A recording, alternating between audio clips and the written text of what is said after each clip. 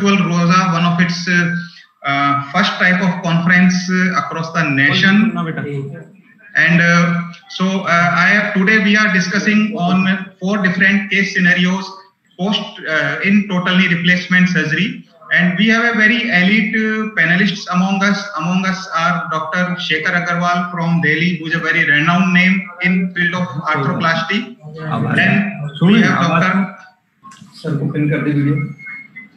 Then we have Dr. Ashish Sharma, uh, who is from Jaipur, and he is among one of the most senior persons of the state doing arthroplasty. We have Dr. Pankaj Walecha from Delhi, a very proficient surgeon, Dr. Yuvraj Lakun, who is from Ahmedabad and is known for doing complex cases. We also have four uh, surgeons from Rajasthan. So uh, one is Dr. Arun Partani, who is a good friend with working in Birla Hospital. Then Dr. Vishwas is there from Kota. Dr. Nitin is from Ajmer, and Dr. Aditya Soral is from EHCC in Jaipur. So we have four uh, very good presenters who have come with very uh, difficult surgeries and I, I hope it should be a thought-provoking session. So today we will start with first case. Uh, I will invite Dr. Nitin Sande from Ajmer. So he will speak in a rheumatoid scenario, valgus and a lax knee. Uh, over to you, uh, Nitin. You can start. Thank you, sir. Uh, good morning, friends, seniors and their colleagues. I'm just starting my case uh, without wasting any time. So starting with the history. Uh, 58 old earlier females, known case of rheumatoid arthritis, presented with the pain, pain in the right knee with deformity in knee for uh, last few years. Occasional pain in the left knee also. Uh, she's on DMARD, analgesic, antacids, and all the chondroprotective drugs that we use. Still, the pain was persisting and deformity was gradually increasing over the years. And at present, when she come, came to me, she was not able to walk and uh, not able to do her daily uh, activity of living. There is no other comorbidity like heart disease or any liver, kidney, or anything other. Not non-diabetic patient. Uh, the next is average build patient. Vitals are stable. Uh, knee examination. Knees in valgus or 15 degree, which is correctable. And further stress varus can be done up to 5 degrees. Uh, so it is quite a lax knee. Uh, anterior posterior drawer test was also positive. Distal neurovascular status was okay. Uh, these were weight bearing x-rays, the AP view and lateral view. Uh, we can see uh, the subluxations uh, or valgus knees there. Uh, any more thing you want to? So uh, Nitin, we will Nitin, we will stop here, and I will now go to the panelists. So my first question is to Dr. Shekhar Agarwal. Uh, sir, when this patient, rheumatoid patient comes to you, uh, what are the other things which you wish to see in these patients? Uh, I think it is important that first of all we must have a HK view if possible. If it is not possible, then we should at least have a uh, full X-ray of the pelvis with both hips and showing the proximal femurs. Yes. Secondly, these patients can have osteoporosis, so that should be taken into big account. And you can have intraoperative fractures or intraoperative avulsions Therefore, you need to keep stems and uh, constrained implants if necessary. But yes. these patients are invariably on DMARDs. So current thinking is that uh, the only thing that needs to be stopped two weeks prior to surgery is leflunomide. All the other drugs can continue throughout the uh, preoperative and the perioperative period, especially the steroid intake, because you can have an Addisonian crisis if you do not supplement the steroid during this period. And yes. fourthly, there are higher chance of infection. So four times more infection, and especially if it is diabetic as well, then even eight times chance of infection. My take is that I give vancomycin as a prophylactic antibiotic in such patients. Okay, so sir, you changed the antibiotic protocol. Okay. Yes. Okay. And so, uh, Pankaj, like uh, these patients come to you, so many good things uh, Dr. Shekhar Agarwal has enumerated. What are the other things which you will like to see in these patients? Pankaj, Pankaj, your mic. Uh... Yeah, okay. So I would like to do a merchant's view or a skyline view to see how the patella is tracking, to see the subluxation is there or not. And also I'll do stress views of uh, the knee to see valgus varus, how much it is opening on the lat medial side when I do valgus stress and how much it is correcting when I'm doing varus stress. Okay, great. Good points. Yeah. So, uh, Yuvraj, uh, beside this, anything else which you will like to see in these patients? I get my patients uh, a CT scanogram so that I can see my hip, knee, and ankle axis. Yeah. I can So, also get a standing view, but I it's easy for me to get a CT scanogram in my hospital, and uh, from that I normally calculate a valgus correction angle at that point of time. So I know during the surgery what kind of valgus I need to get. okay. And anyone else, uh, like Aditya, whether you will get some, you know, protein levels of these rheumatoid patients done, suppose they have very low albumin, which you can correct before surgery? I think that is absolutely mandatory, sir. Um, You know, these patients, uh, what we must understand is rheumatoid arthritis is not a disease which affects only the joints. It is actually a systemic disorder. Yeah. So, uh, more or less, I would absolutely get a serum albumin done for such patients. Make sure that the nutrition level is high, and that is actually one of my uh, foremost post-operative infection prevent, uh, prevention strategy also. Yeah. Yeah. So there's, there's my discharge summary would definitely mention a high protein diet. I would uh, be giving them at least 0.8 milligram per kg per uh, per um, body weight per day. That's the minimum protein I want them to take. They can decide the source, obviously. But yes, absolutely. Um, the other thing is that I probably would not change my antibiotic prophylaxis for such patients because uh, antibiotic prophylaxis in my case would depend upon my hospital's antibiogram and in our case it's mostly uh, in, especially if you look at indian scenarios also gram negative bacilli is is what causes most of our infection so uh, probably my antibiotic prophylaxis remains the same Yeah, great point. So, uh, for uh, all these patients, 3 gram of albumin, 3 gram per deciliter is something that if it goes below, then you should be very vigilant and never operate a patient of rheumatoid if the albumin level is less than 2 gram. Otherwise, you will end up in difficulty. Build up these patients for this. And for Also, these DMARDs, patients could be severely anemic also. Yes, and these patients are anemic, so you may have adequate blood in your stores if you want to operate these patients, provided their hemoglobin is very less. Uh, you you may need to give some pre auto autologous blood transfusion or uh, pre or blood transfusion and in total. So uh, Nitin, my other question now the question is that uh, our panelists are asking what other X-rays you have done in in this patient. Is the uh, I'm not able able to uh, connect it because in the Ajmer I do not having the facility to do scanogram and all that. So Okay. I've done it separately and connected that thing. The other Great. looks quite okay, and this is a probable not a complete scanogram, but it's probably full length what I could get here, and the pelvis was uh, uh, separated from this thing. I couldn't Okay. get this completely. Okay. This was the X-ray and standing view, and, this was this was the merchant's view. So what you have done now? Uh, go ahead and tell us what you have done in this was- patient. Yeah, yeah, this was the merchant's view, and uh, this is the video. If you can see the video, Yeah. this was the clinical picture of the patient. Uh, Yes, it is laxi- legs. la- laxity in laterally as well as medially and as well as anterior posterior direction. It was quite lax. Yeah. So principles remain the same. We have to re- realign the mechanical axis at the center of femoral head and to the center of the knee to the center of the ankle of the mortise uh, to get a neutral mechanical axis. Principle Yeah. remains same. And this is the picture. When we, we I used the uh, standard parapatellar approach.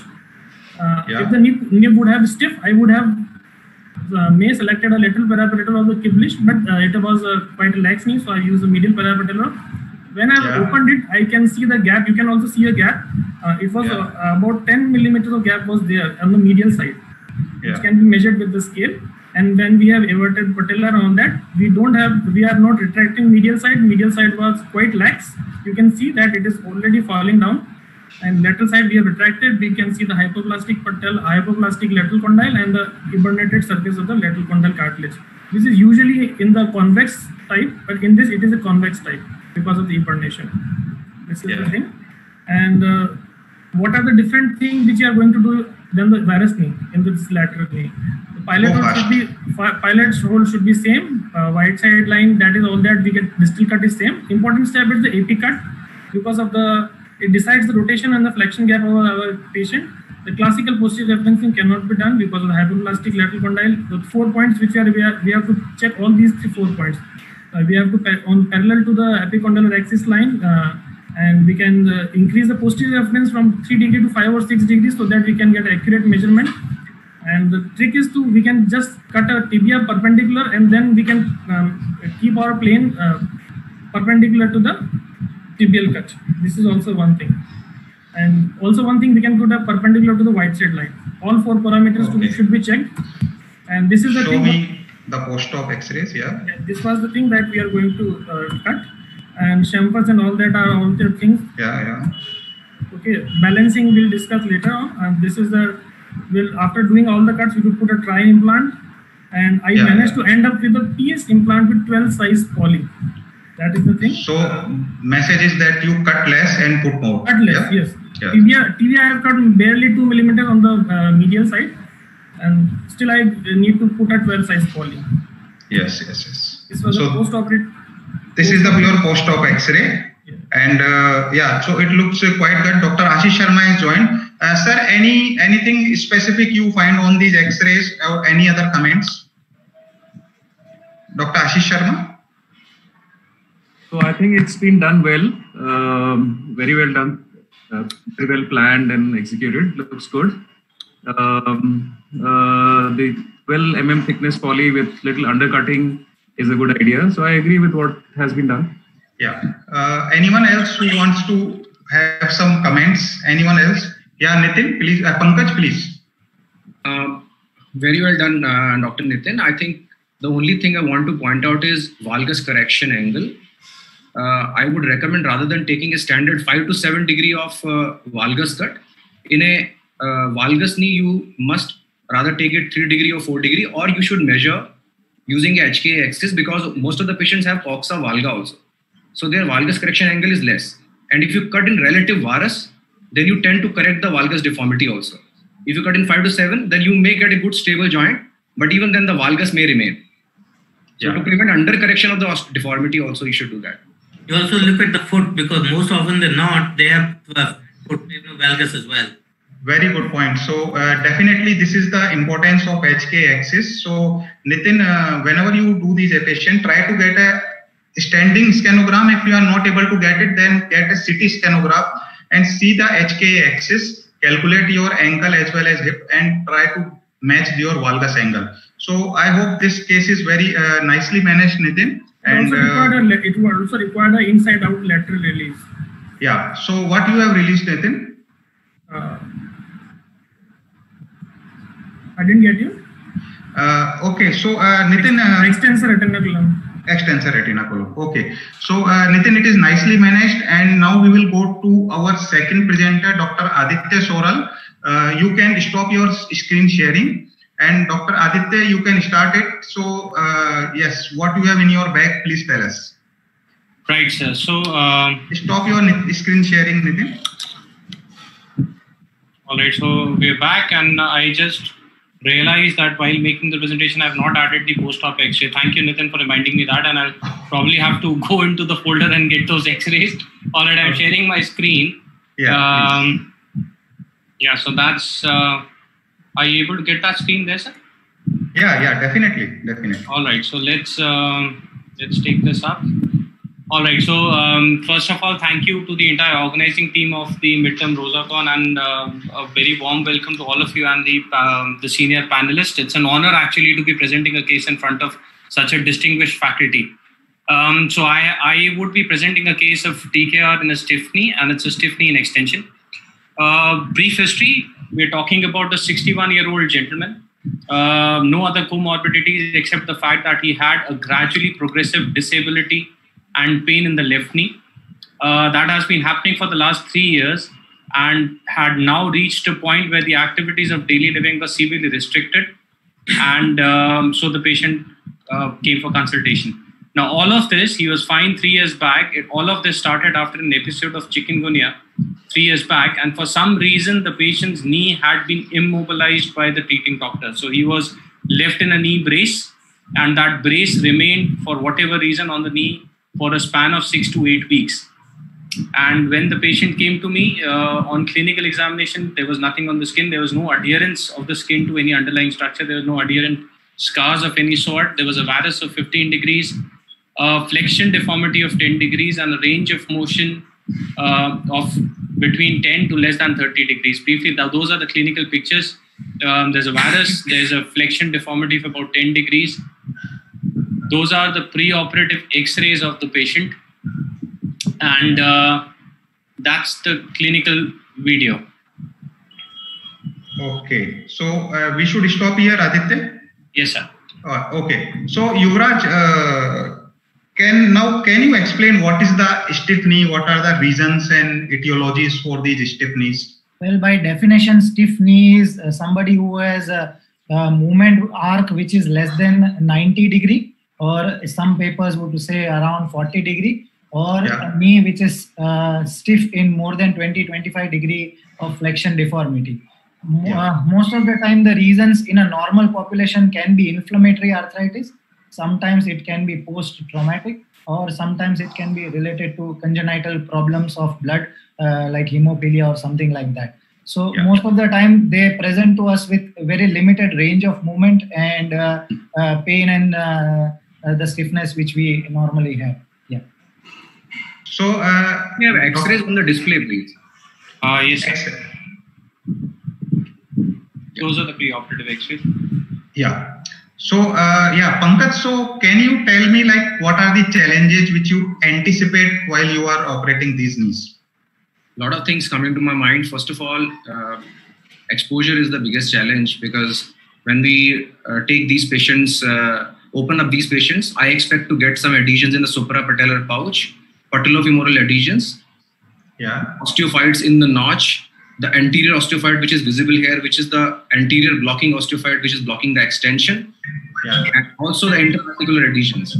And we have to gradually work upon it because as we, if we should not try to increase the flexion forcefully, as we keep on working from suprapatellar pouch to patellofemoral to anterior osteophyte to the interarticular adhesions to the notch osteophyte, and then release the cruciates, and then get some flexion and then work posteriorly.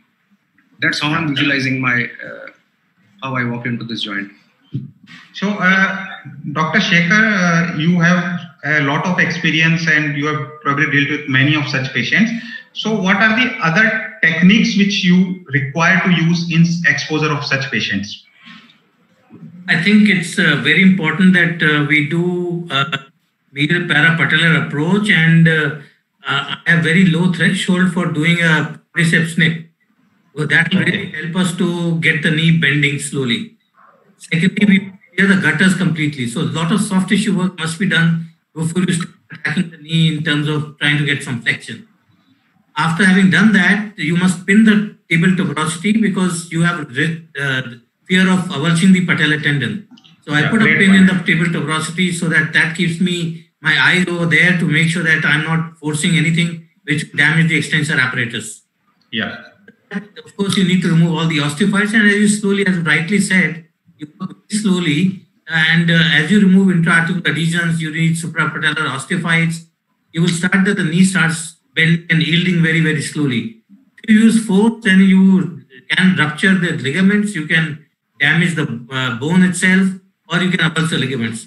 You've got to work very, very slowly. And once you've got the flexion, then of course the rest of it is easy.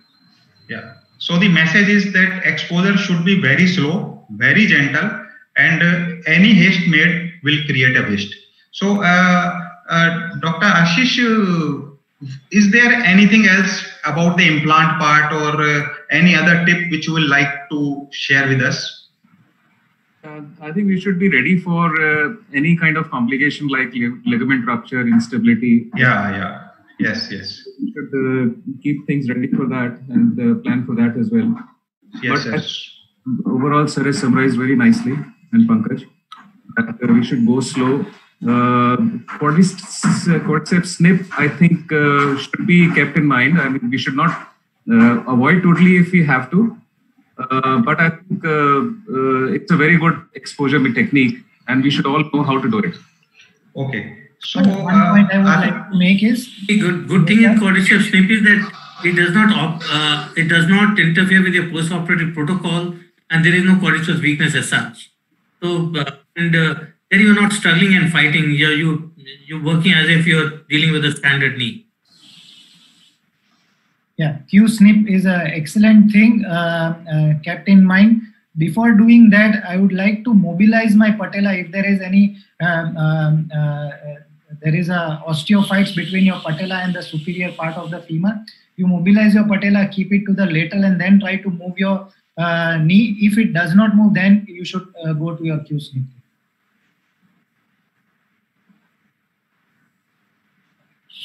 Dr. Neeraj, you need to unmute.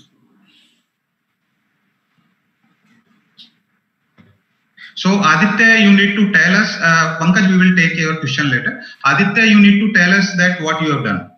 Right, sir. So uh, we just saw the um, uh, the video, and as had been mentioned by the has been mentioned by the distinguished faculty, the challenges were ex- actually the exposure.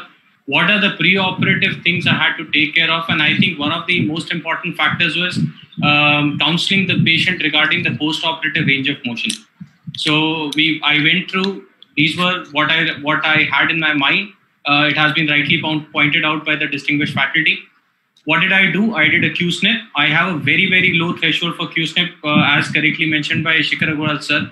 It doesn't add to your post-operative rehab protocol. Most of those patients will not have a quadriceps extensor lag, and I keep a very low threshold for such patients. Uh, a thorough suprapatellar synovectomy, as pointed by Dr. Pankaj Walecha, I think that is absolutely mandatory the thing which I did in this particular case was on the medial aspect, I could not find it was a little difficult for me to find the plane between the femur and tibia, and that is why I tried to develop. So I put in a small osteotome and I actually gently twisted to break the fibrous adhesions between them. Uh, as pointed out by Dr. Shekhar sir, clearing the gutters. I think if there is a take home point from this case, clearing the gutters is extremely important. If you're not doing it, you risk too many things. You risk fractures, you risk avulsions, and you you will end up with a lot of complications. Uh, the only way you can avert patella in such cases, and obviously Q-snips is going to help, is by removing the patellar osteophytes. Uh, be a little bit more radical in removing the fat part, and obviously we cut the patellofemoral ligaments and a medial tibial peel. I mean, we all go to the equator, but you, in the, in such cases, you go as far back as possible. There's a contracted medial side, and that also, in a way, prevents your medial collateral ligament from avulsing uh, accidentally. So, certain uh, intraoperative pictures, if you can see, that's the medial tibial peel have gone right to the back. There was a lot of fibrous adhesions on the medial side, and we had to develop the plane using osteotomes and gentle um, clearing the gutters and the suprapatellar synovectomy. So just a different view on that side. The clearing of gutter is absolutely mandated. There's a lot of adhesions in the suprapatellar pouch also, and uh, as rightly pointed out by Dr. Pankaj, we had to take those off, and uh, that is what we came out with. I think patellar replacement in such patients is also absolutely mandatory. Uh, in my opinion, I would love to hear from the faculty yeah. if that is true. Uh, but I think patellar replacement for such patients in my practice would be mandatory and uh, we were able to get a range of motion close to 65 to 70 degrees in the, this patient on the table itself. And the final range of motion of uh, this patient was uh, around 90 degrees at follow up one year back. So this case was done in 2013. I have a, a seven year follow up with the patient and he's doing pretty well with it. Uh, Post operatively, I think the point which I had to take care of was absolute pain relief because otherwise my patient, he hasn't bent the knee for three years so pain relief was mandatory for getting a good range of motion. I uh, I asked my physiotherapist to be aggressive with the ROM exercises, put the patient on CPM. Uh, knee brace for lag, not in this patient, but there in such patients, if they have a lag, you need a knee brace, especially while they're ambulating for the first few days. So this is what I did, sir. Um, I, if you can just give me a moment, I'll probably take um, tell you the post-operative X-ray. So yeah. that is. Um, that is, if, if that's visible, that's the post-operative AP view. That's on the follow-up after one year. And uh, let me just show the post-operative. I'm sorry about this, but I absolutely, completely forgot to add those. That's the post-op lateral view uh, after one year follow-up. So uh, we are not able to see it. Uh, see that. Uh, okay, right. So let me just. Uh, your presentation. I'm sorry. Yeah, I have to stop the share and I'll probably share my screen again. So I'll have to share this. So is it visible yeah. now? Yes, great. So that's my post-operative lateral view. Um, that's the post-operative AP view. And uh, that's the skyline. Great, great, great. So this so, is what uh, So Arun, uh, do you see anything uh, specific or you want to comment on these X-rays, Arun? Wanted to uh, add is because it's these knees they, don't bend more than 90 degree. So uh, taking tibia out is a challenge. So putting implanting your final implant and putting the poly would always be a tough thing in such scenarios. So how did you tackle that, doctor? I'm sorry. Uh, could you just repeat? I was busy So- doing the technical stuff. Huh? Yeah. So because the knee is not bending more than 80 to 90 degrees, so dislocating the patella, dislocating the tibia and putting the implant in the poly would be a tough thing to do. So any Right. tips and tricks to handle that? So I went to the femur first technique. That's the first thing which I did. I, you know, dislocating the tibia, even when you're getting the flexion. Number one, if you've done a good patellar synovectomy, have cleared the gutters well, have taken care of the fibrous adhesion on the medial aspect, and cut the cruciate, you do get a good range of motion. But I agree with you. Dislocating, subluxating the tibia for a tibia first cut becomes a little difficult. So I, in my practice, I always do a femur first, and that is what I did uh, I had some apprehension because if you do a femur first and I finish the femur, I just don't do a distal femur, I finish the femur completely. I had this uh, apprehension that I'll end up with a uh, gap mismatch and I may have to revise my femur cut again. But I, the God was on my side that time.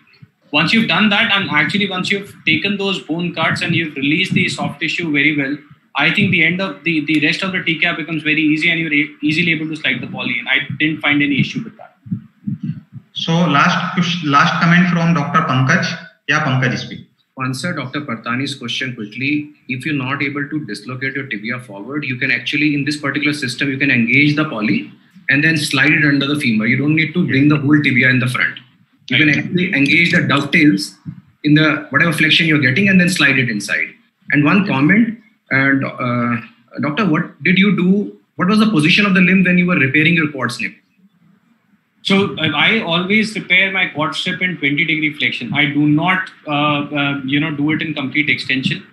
Uh, yeah, So- that that's not what I do. Yeah. for the, for the want of time, if you just flex the knee to 30 to 40 degrees, that makes the tendon slide and gives you some range Yes. there. Then you repair it. It doesn't give extensor lag, but it gives you some extra, uh, range of motion. Exactly. And, and doing So- VY plasty for the audience, doing VY plasty for such cases absolutely out, must not be done. Great point, Pankaj. So we should we should uh, mark the quadriceps snips because sometimes in obesity patient it is difficult to approximate it. And second, try to close it in 30 to 40 degrees. For stiff knee, patience is the key. You have to be patient, and you have very nicely managed, Aditya. Uh, congratulations, you have a seven-year follow-up. So we na- now move on to the very interesting case by Vishwas. Uh, Vishwas, you can start your screen sharing. So he will talk about the def- congenital deficient cruciate ligaments with dislocated knee, recurrent dislocation, multiple problems. Yes, Vishwas. Uh, good morning, everyone, and thank you for allowing me to present this case in front of all these esteemed uh, uh, faculty. I'll be discussing a case of total knee replacement in a lax knee hyper with a with hyperextension in a re- recurrent knee dislocator. This is a 67 year old female. She has been having recurrent dislocations of her left knee since 1973. She had an open surgery done in 1984 and it was told to be not successful and she was told to uh, use a brace always. Uh, she was told that the, uh, the cruciate ligaments are non-functional in her case. Uh, she did not uh, follow this advice and she uh, dislocated again uh, in between. She had an arthroscopic surgery done in 1999 again. And again, the same advice was given to her that your uh, cruciate ligaments are congenitally non-functioning. Are hyperlax. So she's been adjusted uh, to her lifestyle till now. Uh, it's uh, the dislocation happen every two to three years, which is self-reducible. The lifestyle has never nor been operated, and there is no other joint laxity elsewhere. We've huh? gotten her uh, neurological examination done so to find out any other neuromuscular disorders, as well as um, uh, a dermatological uh, clearance done to rule out Ehlers-Danlos syndrome. So this is how her examination looks like hope you are uh, able to see the video.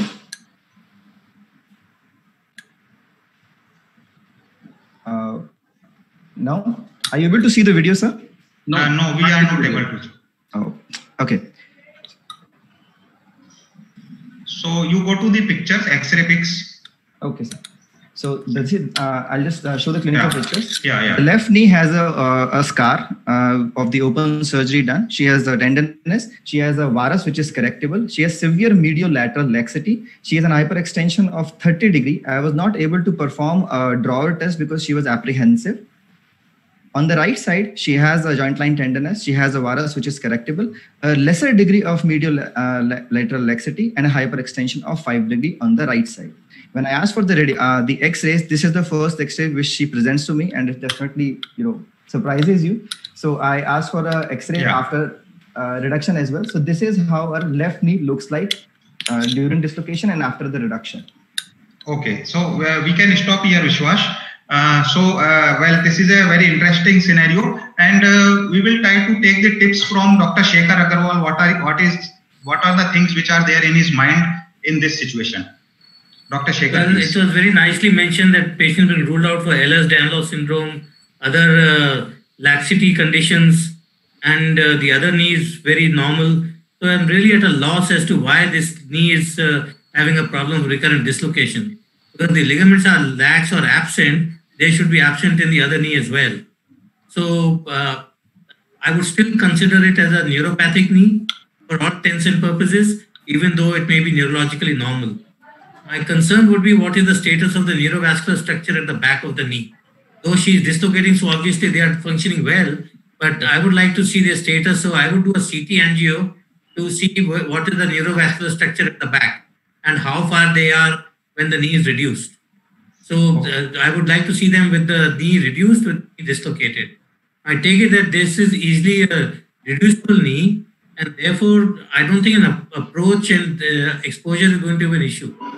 Real issue is going to be that you're going to cut very little bone because uh, you have uh, hyperextension issues. So you, you remove not 9 millimeters from the distal femur, but maybe even less, much less than that. Similarly, from the tibial side as well. Because in spite of taking small, very small sections of bone, you will still land up putting a big spacer in. And secondly, you should try and do uh, increase your tibial slope and reduce your uh, reduce your uh, uh knee uh, and put your knee component in or the femoral component in flexion. And thirdly, I would like to keep a hinge with me uh, because I do not know the quality of the collateral ligaments that are going to be there.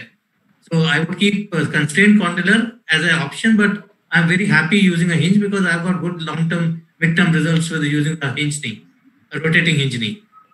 Those are my thoughts on this patient. Uh, Yuvraj, can you you have to add anything else uh, besides what uh, yeah, so uh, these are not normal routine cases. I would certainly like to involve my neurophysician friend inside and uh, to ask him what kind of problem he must she must be having.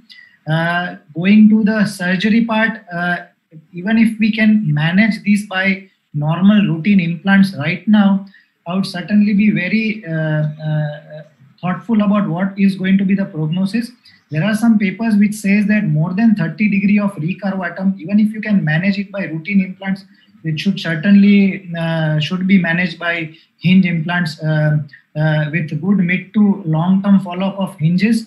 I would certainly go ahead with the hinge knee replacement straight away. Okay. So, Pankaj, uh, you want to add anything else to it? Yeah, quickly, I would like to say, uh, Dr. Vishwas, first of all, did you check your knee after the medial lateral stability after reducing or before reducing? It is important because if it is dislocated, then you cannot comment on the medial lateral integrity of the ligaments.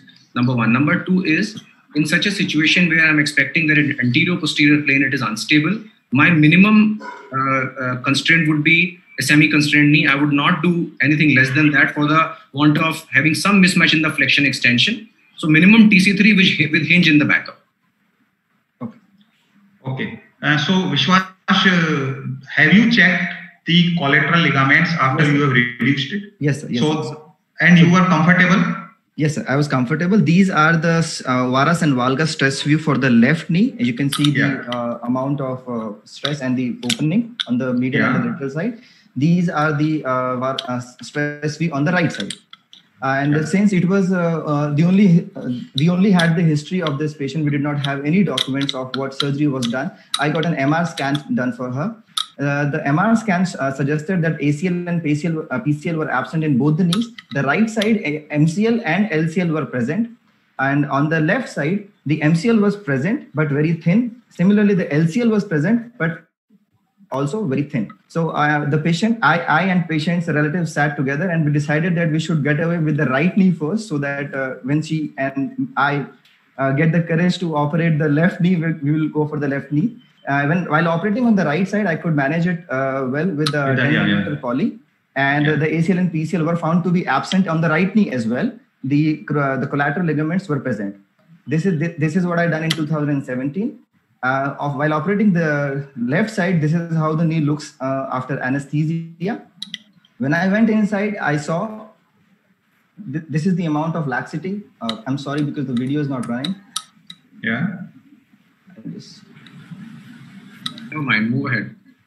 Move ahead. Okay. So this is how the knee looks like uh, after taking the distal cut. Uh, I, I just cut. I had just cut four millimeter from the distal femur, and I had planned that I will cut only three to four millimeter from the tibia as well because my gaps were opening too much already, and I I I, I- knew it pre-operatively as well.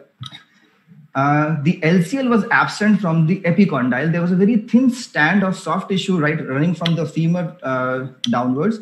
So uh, the, because the LCL was absent from the epicondyle, I uh, straight away thought of uh, uh, to the doing to the semi-constrained knee. The only idea was I wanted to prevent a hinge in this patient because uh, it was a primary knee and she was just 67 years old. So I just wanted to avoid a, a, a hinge in the in a primary for a, such a young patient, for relatively a younger patient who's educated.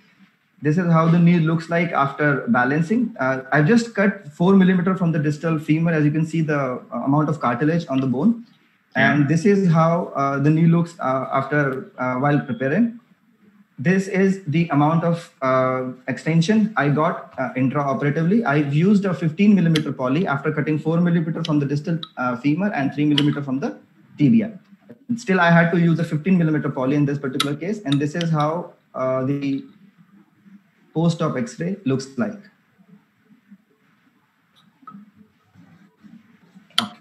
So this is how the post-op X-ray looks like. I had kept my uh, femur in uh, relatively flexion to avoid any hyperextension.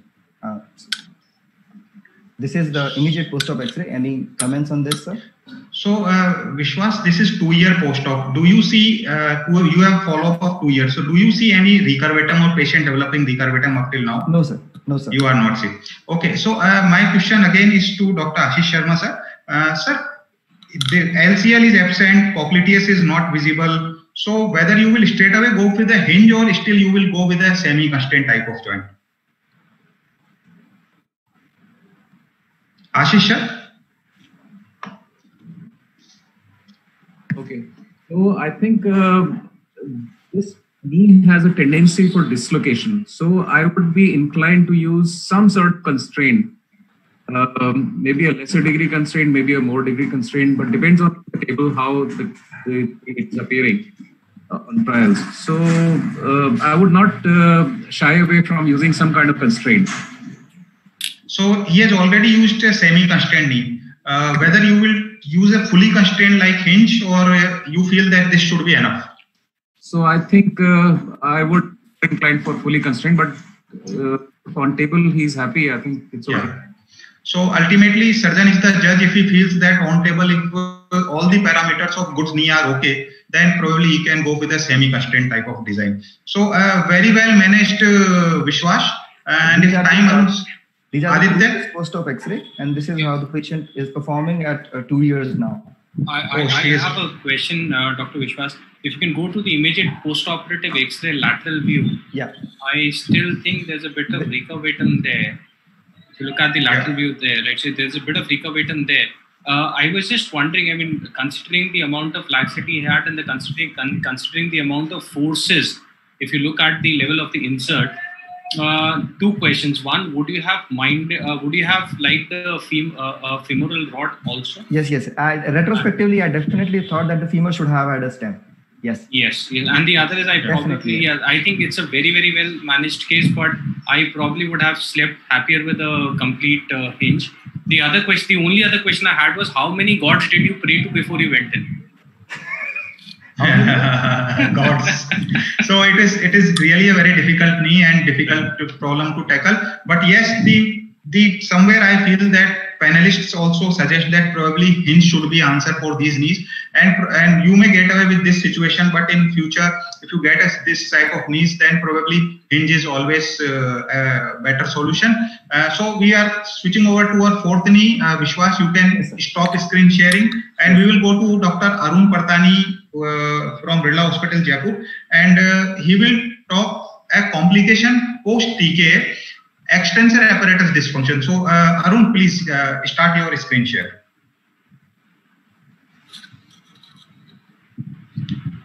So we have four minutes, Arun. So uh, two minutes you have to, and then two minutes we will discuss. Please, Arun.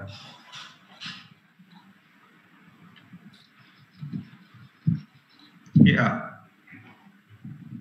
Arun, you have to un you unmute. Unmute. Yeah. Okay. Uh, so is my screen visible to you guys? Yes, yes, yes. Just in live. Okay. Uh, so uh, thank you team to invite me to present my case. So my case is a 62 year old male with uh, no comorbidities, operated with bilateral TKR in March 2019. And he had normal uh, post-op rehab. immediately post-op, he was walking with full weight bearing and with good stability and alignment of the knees. And uh, he was stair climbing from the very uh, fourth day of, after surgery. And he was comfortably walking uh, till the six week after six weeks of surgery. He had a history of sudden squatting, sudden forcefully squatting, followed by pain, swelling in both the knees, and difficulty in getting up from sitting position. Patient was still able to walk, but there was slight limp, and the gait, the speed of gait was slow, uh, and he had pain and swelling in both the knees. Clinically, uh, there was t- uh, tenderness, and the patient presented to me two to three weeks after injury. Two to three weeks, he was home treating himself. So when he came to me, uh, there was tenderness and swelling in both the thighs and the anterior aspect. There was a quadriceps lag of 30 degrees in both the knees. There was no FFD, no varus valgus instability, no laxity in the knees. The gait was slow, and the quadriceps power was three by five. Three by five. So uh, yeah. So uh, the question was, what could be the diagnosis and what the what, is, what should the investigation be, uh, we should go about? So the uh, panel should come in. Yeah. Okay. So uh, let uh, Dr. Ashish Sharma take it, and sir, enlighten us that if the patient comes with this problem, how you will clinically and and radiologically you will diagnose it. Yeah, I think clinically we can test for the extensor apparatus deficiency and um, uh, if there is a crepitus, if there is normal mobility, we can suspect a fracture. So it's basically a clinical diagnosis, and then we can confirm by X-rays and uh, in MRI. So, uh, sir, uh, we, this patient, since we get an X-ray and uh, we see that, and we can also see the patella, any role of ultrasonography in these patients to diagnose the extensor apparatus dysfunction? Do you get uh, sonographies in such patients? Um, yes, I do.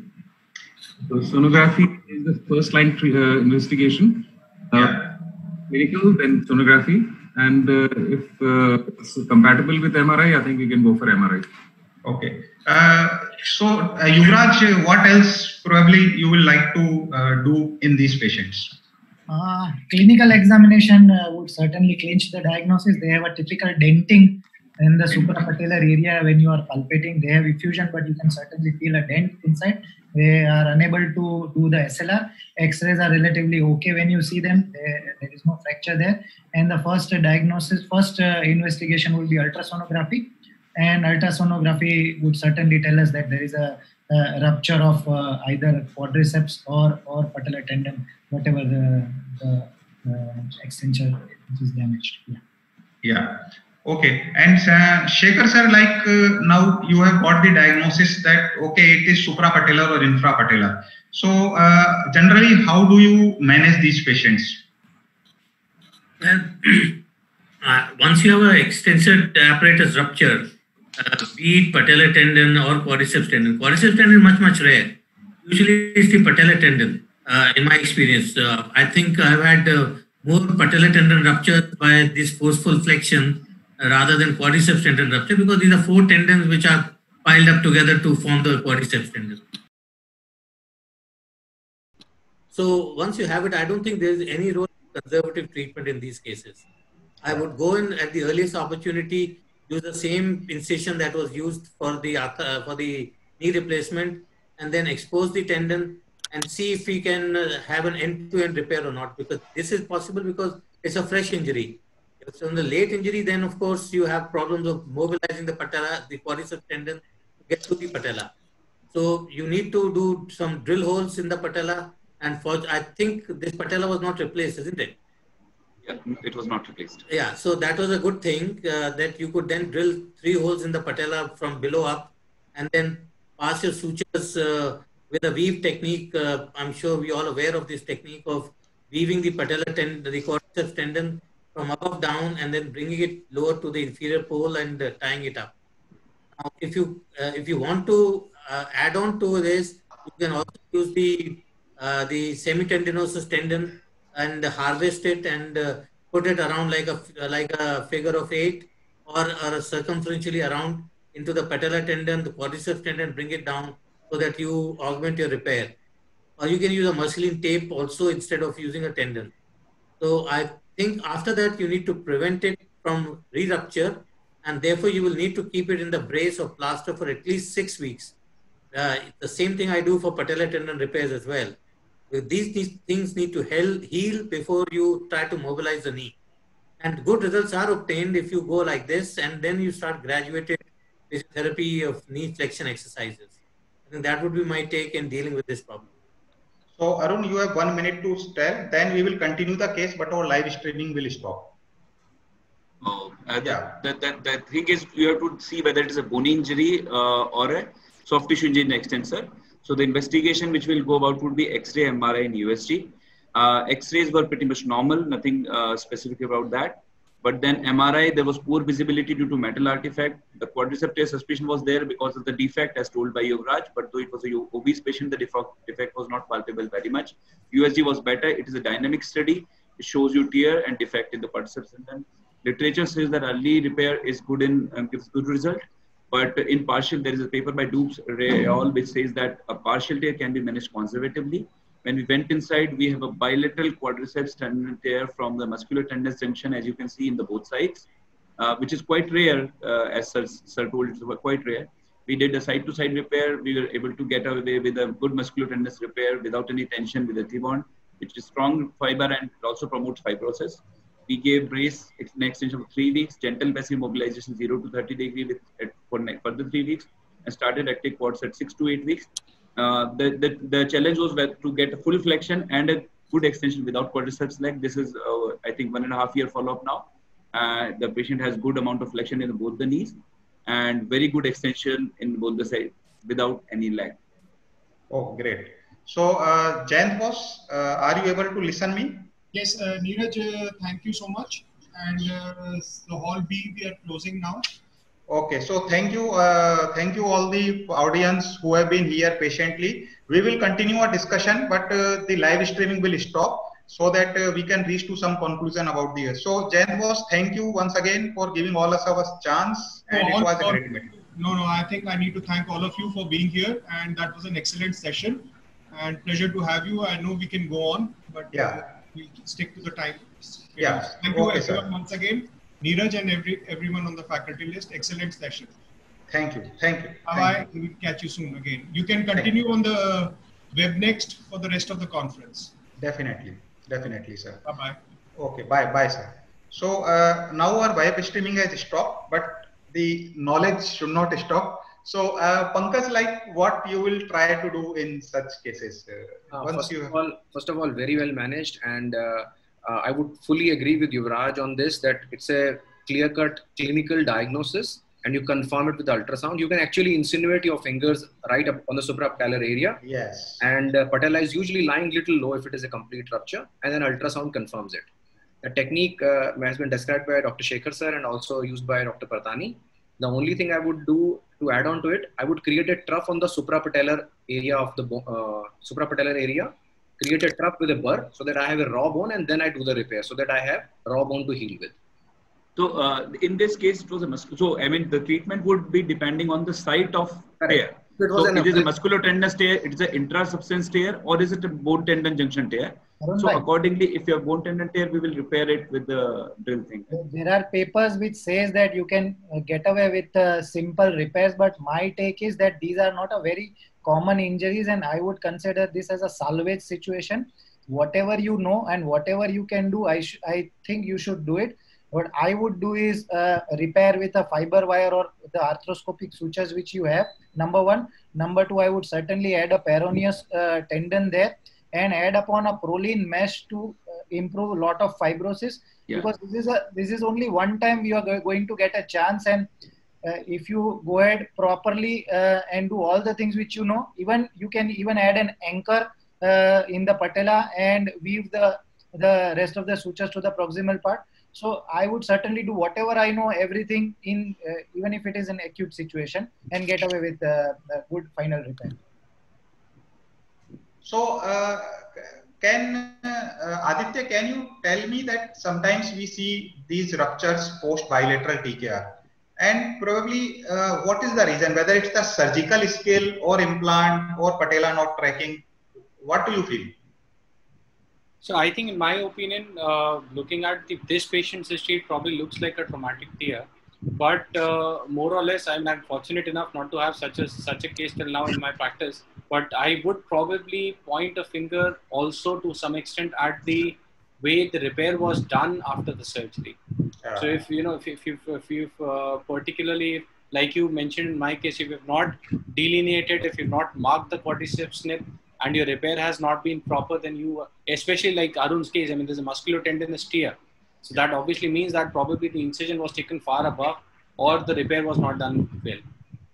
That may be So- one. I mean, I'm just speculating. Yeah. So uh, one thing which I have learned from my experience is that uh, whenever we are dealing with the closure of the medial parapatellar osteotomy, then probably this area, this is the supra. Okay, so my talk is on shoulder instability. So I will be basically talking on the bipolar lesion, the on track and the off track concept. Okay, so what we have over the years, we have we very well know now that shoulder dislocation it's it is lesion on the on the glenoid, but we have something happening on the humerus also. So, we have something happening to the bone also.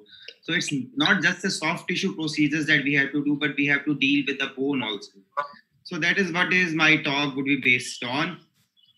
We all know with our uh, uh, age-old uh, studies that typically the shoulder dislocation is anterior most of the time, 90% and more times it is the anterior shoulder dislocation.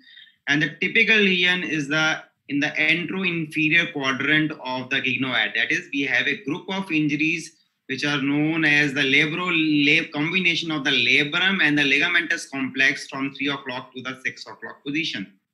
So the typical lesion is 3 to 6 o'clock. The Bankart, the detachment of the labrum and its variants when the dis- shoulder dislocates anterior and inferior. So the typical soft tissue, as you can see on this slide, is the soft tissue lesion that most of the time we see is the Bankart lesion where we have the detachment of the labrum we have a variants where we can have a osseous Bankart that we commonly see. We have some chip of bone along with it. We can have a Perthes lesion where the Bankart looks like to be a concealed Bankart, but we when we probe it, and uh, we can really detach the labrum from the periosteum. And the ALPSA lesion again, it's a very commonly seen. So because we should know this lesion because we have to see and we have to take the labrum up into the shoulder joint if we see this sort of region, the anterior labroperiosteal sleeve avulsion where the labrum detaches and it goes down anteriorly. Then we can have a glial lesion where the we have a defect in the cartilage along with the labrum. So what I want to emphasize that it's not a just a lesion onto the glenoid. We have something happening to the Hill-Sachs that we must take into account for. So it's a cortical depression in the posterolateral head of the humerus. It's an impaction fracture as the head offshoots in an abduction and external uh, AVR position, abduction external rotation position beyond the glenoid. It detaches the, it not only detaches the labrum and a chunk of the bone from the glenoid, but it all there is also an uh, impaction fracture onto the humerus along with it, which is known as the Hill-Sachs lesion. So that's a typical on the left side, it's a normal looking labrum, and we have a detached labrum on the right side, which is a typical Bankart lesion. So over a period of time, we started, we used to do only the Bankart repair most of the time, but the, the work of the Itoi and Associates uh, has been a landmark in changing the concept that we have a bipolar lesion happening in the shoulder instability. So the track concept came into the picture. So what is what is this track all about? So the normal glenoid track is a contact zone between the glenoid and the humeral head during the normal glide of the humeral head onto the glenoid. So it is about 83% of the 83 to 84% of the glenoid is in contact with the uh, head of the humerus most of the times. If, if this 83% is in contact, if the glenoid tract is intact, it means we do have a bony instability and we can get away with the soft tissue procedures. So that's a labrum. You can see it has taken a chunk of bone. It we have to measure it, and this is what the Itoi and uh, uh, have uh, come with the glenoid right. So we have an 83% of the contact between, the glenoid and the humeral head. We have to detect how much the bone loss is there on the glenoid to measure the actual glenoid tract. So how it is done, I will come in the subsequent slides. And similarly, we have to measure the Hill-Sachs lesion. So that is also where I'll come in the subsequent slide. So this is how the from the Itoi and the Burkhart paper that I have borrowed. So if we have a glenoid tract intact, it means that lesion on the Hill-Sachs on an ABR position, it is not coming out of the glenoid. It means it's an on-track lesion and we can get away with the soft tissue procedures. And if in a ABR position, if the Hill-Sachs lesion is more than the actual glenoid tract, it means the bone loss either on the humeral side or on the glenoid side is that severe that the head it's going to that uh, the Hill-Sachs lesion is more than the glenoid tract, then it means it's an off-track lesion, and then it, we have to do something with the bone, something with the to the Hill-Sachs.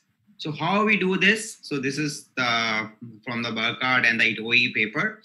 Uh, it's freely available online. So we measure the diameter of the glenoid on a 3D CT or with an arthroscopy. After that, we determine the width, how much for by the circle method, uh, how much the there is a loss of the glenoid uh, from the interior side, and we 0.83% as I said is the normal track. So 0.83 into D I have multiplied, and I then I subtract how much is the loss of the bone. So 0.83D minus D. So how it is done, you can see how it is done in the CT scan and onto the, so that you can see on this side, you can see we, by the circle method, we have found out how much is the loss of the bone on the interior side. We measure the entire diameter of the glenoid. 0.83 into the diameter minus D will be the glenoid tract. So the we have the radiologists we, which are well aware of all these facts and they do well for you if you can if you train them. Then we measure the Hill-Sachs region What is the Hill-Sachs region It is actually how much is the Hill-Sachs that uh, length of the Hill-Sachs plus the bare area, the normal bony bridge between the rotator cuff and the Hill-Sachs. So we have to measure both. So Hill-Sachs region is to HS, that is the actual Hill-Sachs plus the bony bridge, which will engage onto the glenoid in the ABR position. So again, the CT scan as well as the direct measurement is very good in this. So in the CT scan, we measure how much is the length of the Hill-Sachs plus the bony bridge. So then we apply the formula, which is very simple. Hill-Sachs region more than glenoid tract, then the Hill-Sachs is off track, and the Hill-Sachs region less than glenoid tract, then the Hill-Sachs is on track. So this is how our treatment will change, and this is how we plan. So the Itoi Burkhart has told in the group one, if the glenoid defect is less than 25% and the Hill-Sachs is on track, we do a simple Bankart repair. So nowadays, what this 25% that in our practice, 20% is the uh, defect that we take that if it is less than 20%, uh, then we do a Bankart. If it is more than 20%, we go for Latarjet. And in a group two position cases, if the glenoid defect is less than 20%, 25% and the Hill Sachs is off track, then we have to add something to the Hill Sachs, which is a remplissage procedure. And in a group three, if the glenoid effect is more than 25% and the Hill Sachs, but the Hill Sachs is on track, okay, then we can do just get away with the Latarjet. But if the defect is on the both side, both on the glenoid and on the humeral side is more, then we have, have to do something to the humerus also along with the Latarjet. That is either a remplissage or some bone grafting procedures. So this is how it looks like on a picture A. That's a normal Bankart repair, and on the picture B, we the remplissage, which is actually to fill the humeral bone defect with the. It's actually a capsulotino. It's the musculocapsulotino. This is onto the Hill Sachs area. So that's how a short video I will. This is how the Hill Sachs looks like. You can see that's a Hill Sachs. So we have debrided and we have uh, the Hill Sachs and we apply the anchors so, so first we put the anchors onto the humeral side. So that's the Hill Sachs and a bony bridge above. So that's actually the Hill Sachs lesion from the, which is actually the defect in the Hill Sachs, effect of the Hill Sachs plus the bony bridge. So then we take the bites with the bird beaks and make a soft tissue bridge across the Hill Sachs. So this is how when we have planned that we have to do a remplissage, this is how the remplissage look like we are looking from the anterosuperior portal and we are going from the posterior portal into the Hill Sachs. So we've applied to put two anchors. This is our one of the older videos. Then we take the bird beaks and make a soft tissue bridge across the Hill Sachs. So across the tissue. So that's how the soft tissue bridge looks like. So the first thing is you when you plan a remplissage, you take a put the anchor and then take the bites through the Hill Sachs and then we go anteriorly and do the Bankart repair. So we don't tie the bites of the Hill Sachs we of the for the remplissage, we tie it later on. So see when we pull how the defect is being filled by the soft tissue. So we have not tied it. So then we go anteriorly and then we take a bite we have released the most important thing for uh, a good Bankart is do a adequate release so that you have an inferior to superior capsular shift as well as side to side repair. So the first anchor is generally put on five and a half position. The second is at the level of bare spot, which is uh, uh, around uh, four o'clock position. And the third is at the level of the three o'clock position, which is the upper border of the subscap. So, so we are doing side to side as well as inferior to the superior shift for the Bankart. So this is how the three anchors are being tied. So we are having a good bumper effect onto the glenoid and a remplissage be, being supplemented on the posteriorly. So this is how it looks like three anchors anteriorly and the two onto the Hill Sachs. So the rehab, uh, generally we give sling for about four weeks where we do pendulum exercise, external rotation after four weeks and ABR after six weeks. Something little bit about the Latarjet. I have three or four slides for that also. So it was first described in 1954. It's a process where we all know we have studied in our uh, Campbell very old days. The procedure was described transferring the coracoid process from the attached corner along with the attached conjoint tendon to the interior of the glenoid. It is important because here we are not only augmenting the bone for the bone loss, where we are also repairing the capsule in the full external rotation so that we don't have loss of external rotation. So in a Latarjet and a capsule repair, we hardly have seen any loss of external rotation. So when we do it, as I have already told, more than 20% of the uh, loss of anterior bone loss of the glenoid, a large bony Bankart, which means Hill Sachs is engaging or the Hill Sachs is off track and we have a loss of the bone anteriorly. We have poor soft tissue. We enter the joint. We hardly have any tissues inside to repair. We don't have a capsule. We don't have a labrum. We should always switch over to Latarjet in such a situation. Failed Bankart, uh, if it has been done properly before, uh, then that's again an indication. And in the contact sports, more and more people now advise to do the Latarjet instead of uh, uh Bankart. So three processes are working in Latarjet. It's a triple effect, which is the bony effect, which means we are improving the safe arc.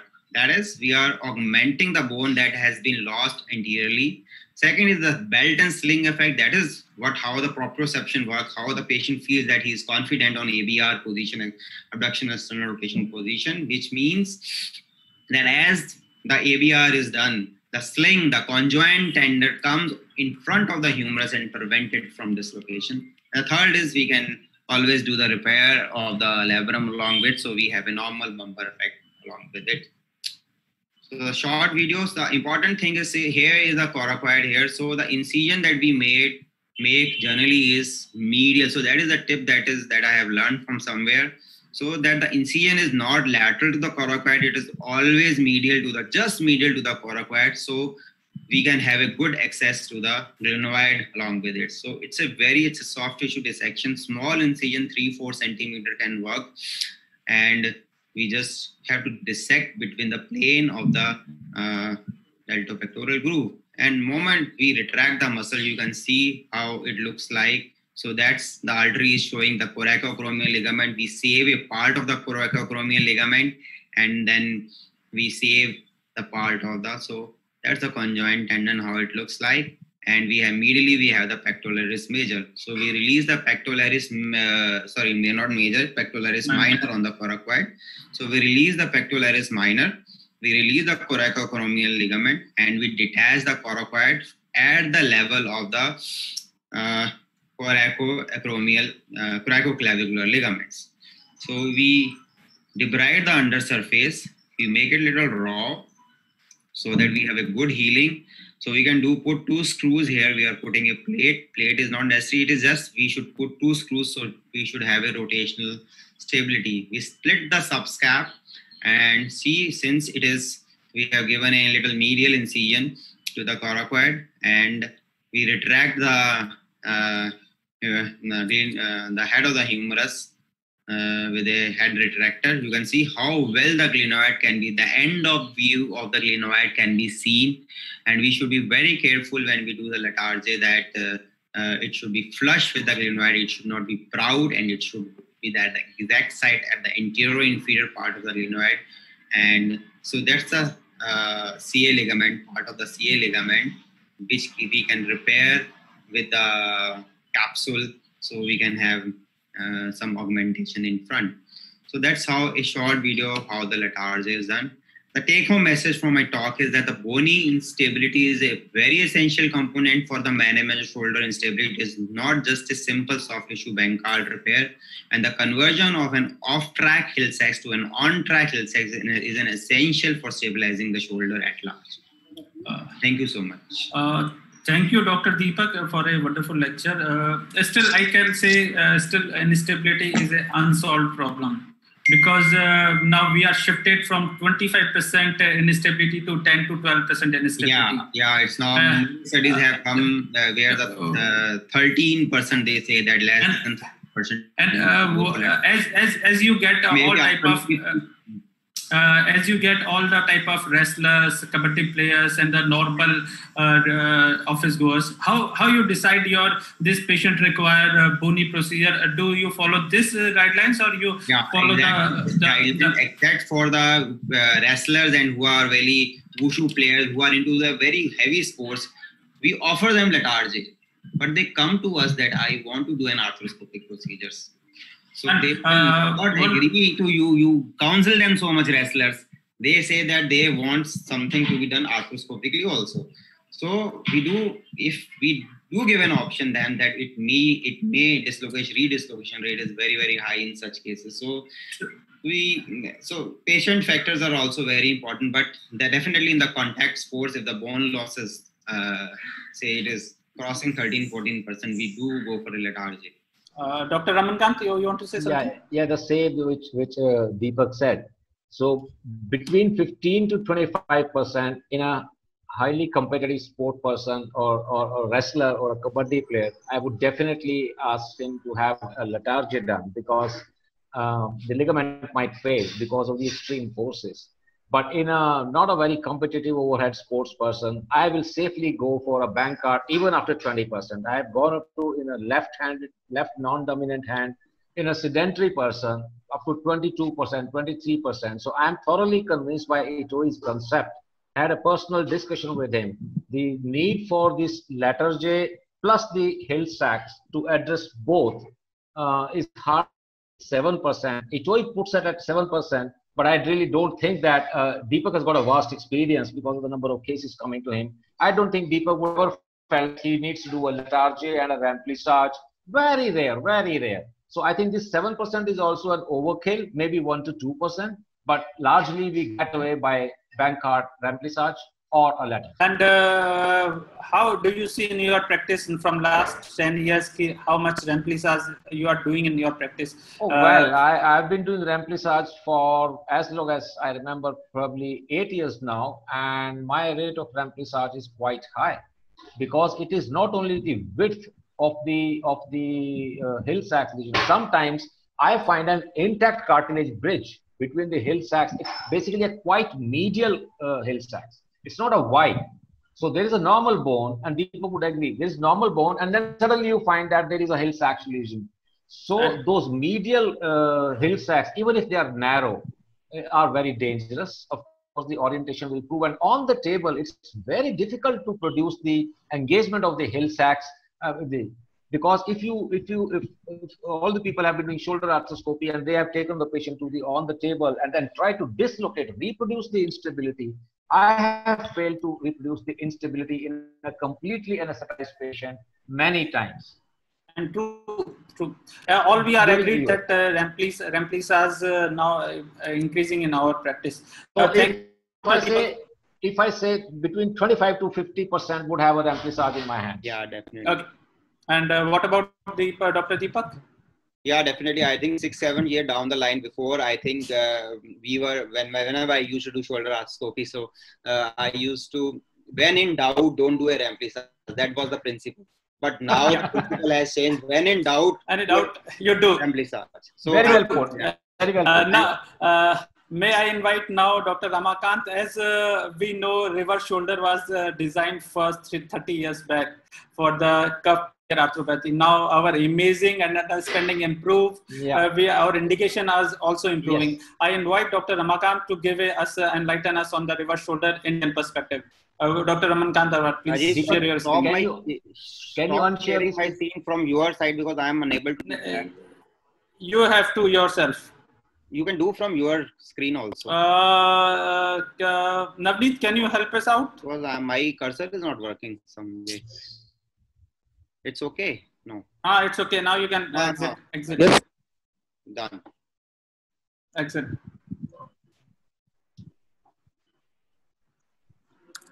Dr. Ramakant, please. Yeah.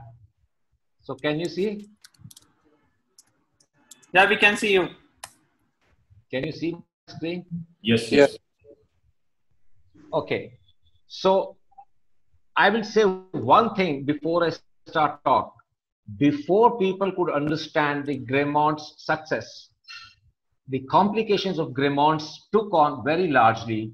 Designs have kept changing. So we don't know whether we are talking about scapular notching in reference to what context. We don't know which approach, if we are talking about instability in reference to which designer. So my talk basically evolves from need to present day and i have delved deep into the biomechanics to make you understand how does it work. It all started with themistocles gluck who designed the artificial joints for every joint with ivory.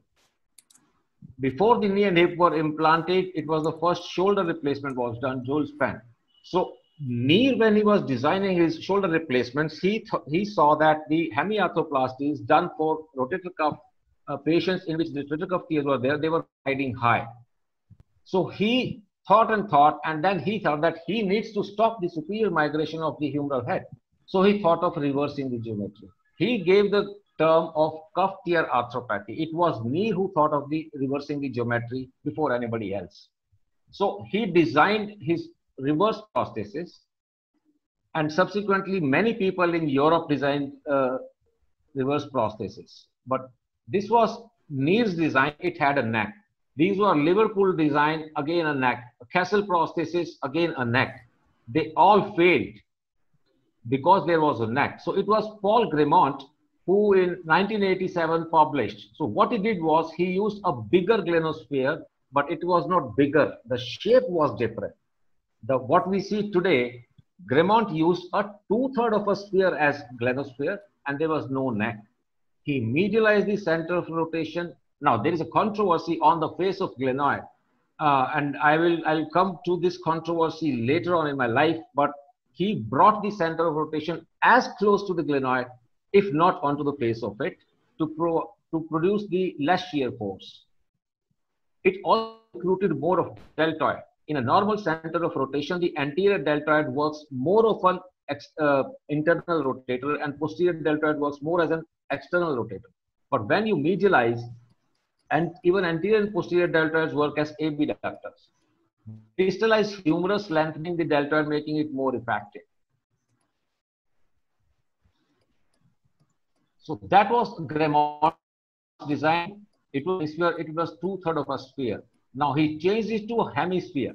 You see there? That's the difference. Two-thirds of a sphere and changed it to a hemisphere. So Gremont reported on eight cases with average follow-up of eight years. We all say that the reverse was designed for a tear arthropathy, but look, nobody has delved into what Grammont presented. Grammont did eight cases out of which three were for radiotherapy necrosis. Three, four were revision prosthetic replacement. One was for inflammatory arthritis.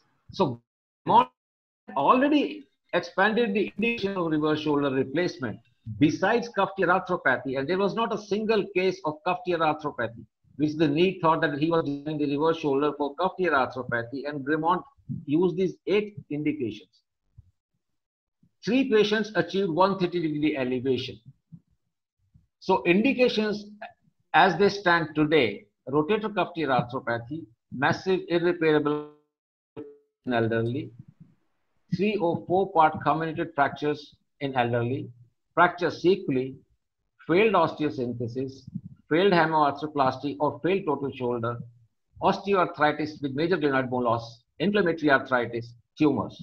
So practically every condition can be treated with reverse shoulder replacement provided the patient fits the bill. But what were the pitfalls of Grammont design? Inadequate rotations, poor rotations, good elevation, and scapular notching. So how do we remove the slackness of remaining rotator cuff? We need better length tension relationship. How do we remove the scapular notching? We need to take the humerus away from the scapula. So how do we move the whole articulation away from scapula? bigger glenosphere, more than hemisphere as glenosphere, which I've already shown you that Grammont showed two-thirds of a sphere.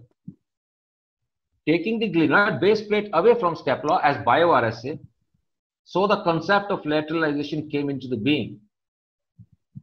So these, that is how the evolution happened now in the prosthetic design, in the concepts, in the technology. In the technology, mainly pre-operative planning softwares, so that you can implant it nicely with jigs. In the, in the prosthetic design, on the humeral side, we have onlay versus inlay, platform system, curved, short, and stemless systems. On the glenoid side, we have base plates, round or oval, glenosphere, bigger, smaller, or different shapes. In the concepts, we have lateralization versus medialization. We have bio-RSA, and we have angled RSA difference between inlay and onlay, inlay goes whole inside the humeral stem, onlay the humeral tray remains above the humeral stem.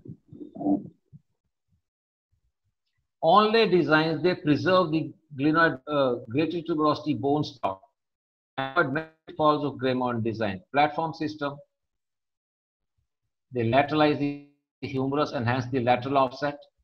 Now, this point, uh, lateralizing uh, the humerus. Sorry, Ramakant sir, uh, sorry to interrupt you. Just uh, for a, uh, there is a technical problem. Just for a few minutes, few few seconds. Okay. Just stop your. Uh, hmm.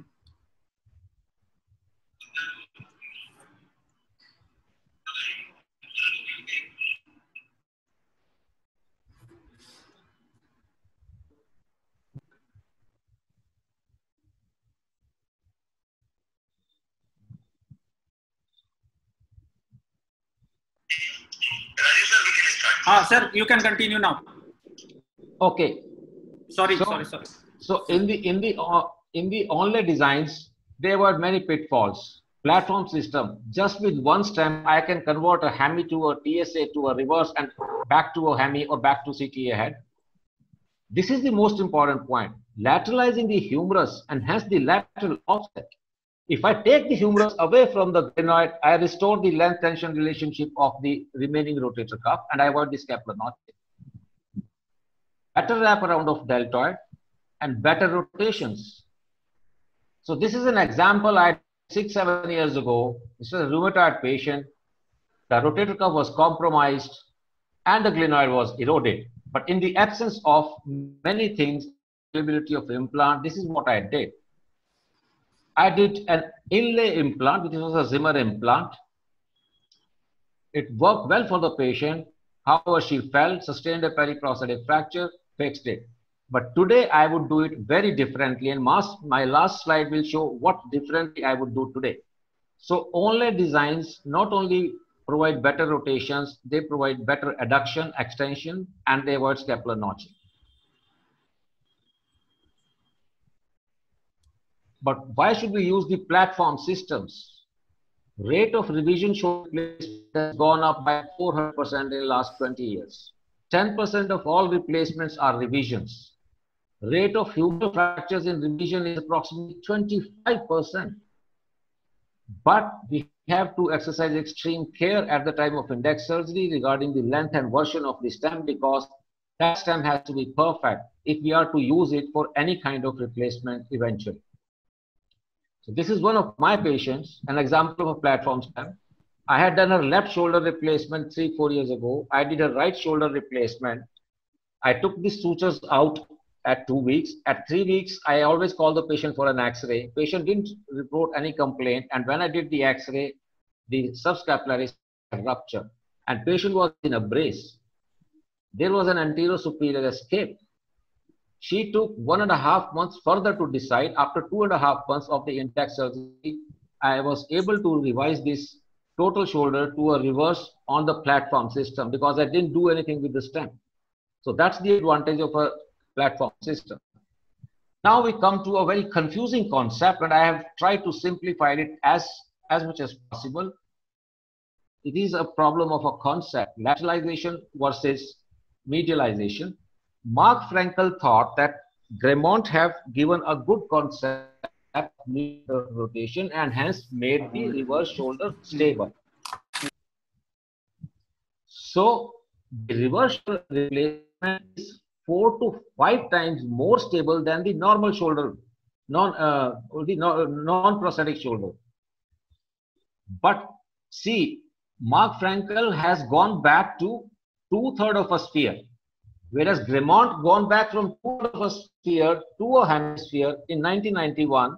Mark Frankle went back from a hemisphere to two third of a sphere because he wanted to lateralize it further. For this, he needed four screws.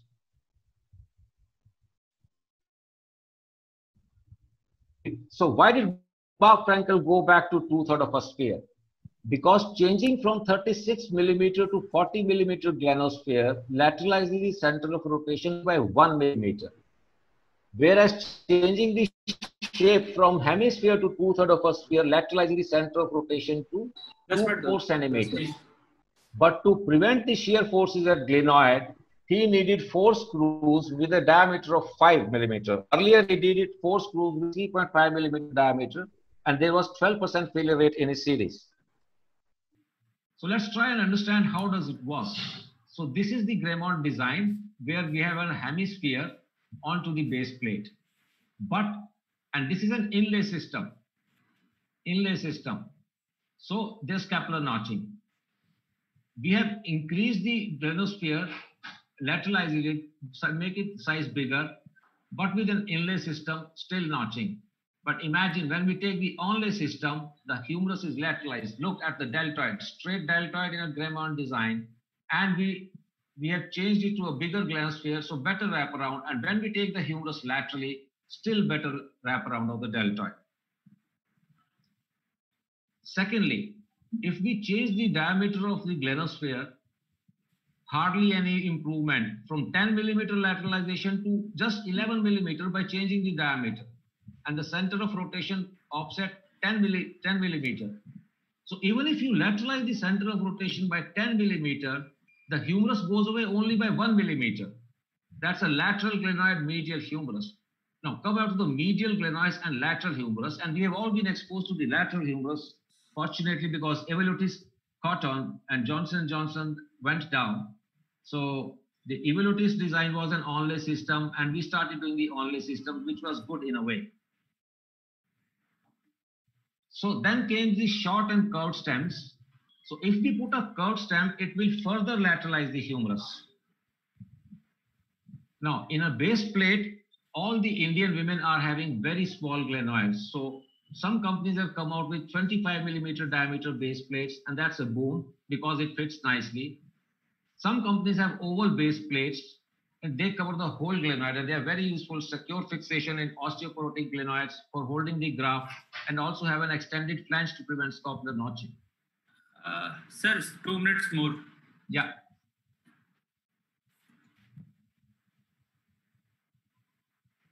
So this is an osteoarthritic glenoid. Nature has done the reverse.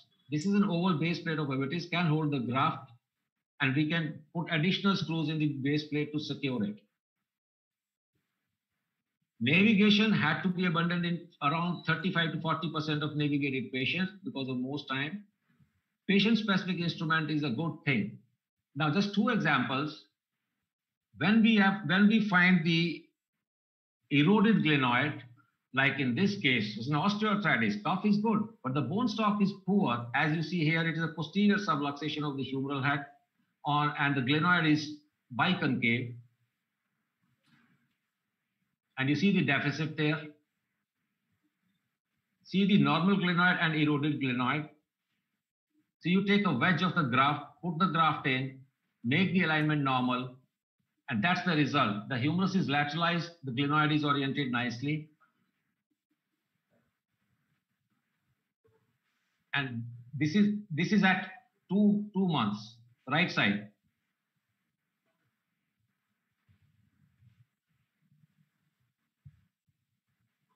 So let us take this example. This lady has an osteoarthritis but superiorly inclined glenoid. There is a concentric erosion but superior erosion. She's got the right-sided total anatomical shoulder and that left was the pre-op movements. So because we don't have the software in India, so we did a pre-operative planning and we did an angled bioRSA. This is the latest in concepts. This is the suprascapular fossa and the RSA angle is different from a TSA angle. So we take a wedge graft. I transfer the CT image onto the head of the humerus, took the graft, wedge graft, put it onto the glenoid, fix the graft, and that's how it comes. So now my base plate is not, this is the original glenoid, and that's the graft in between because I avoided the superior inclination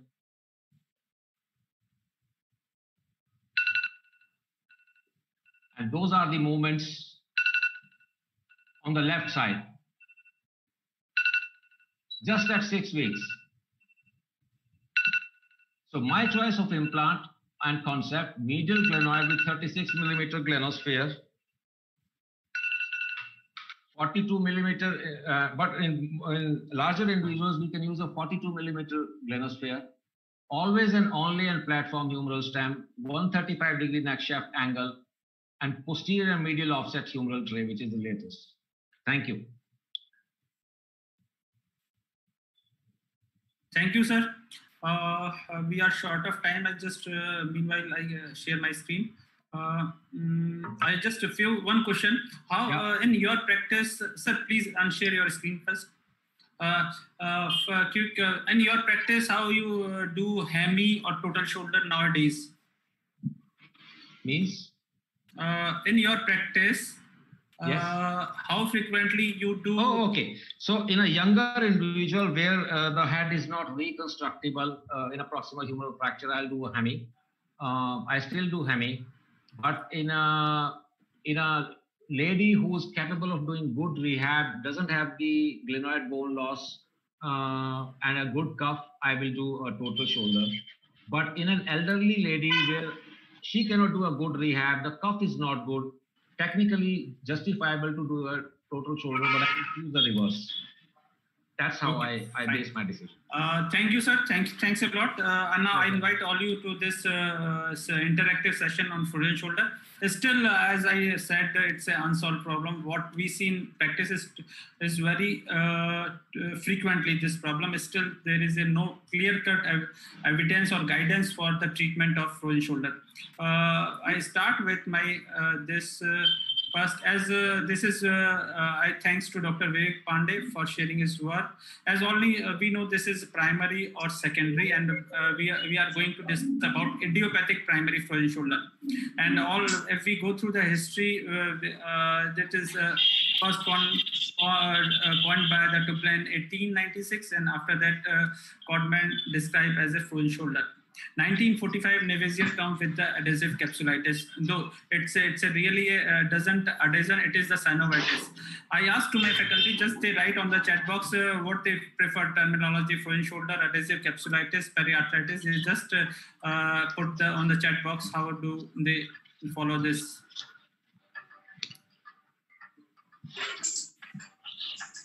So that uh, we can find out uh, how they do. Uh, just write down on the chat box one, two, three, four, five, and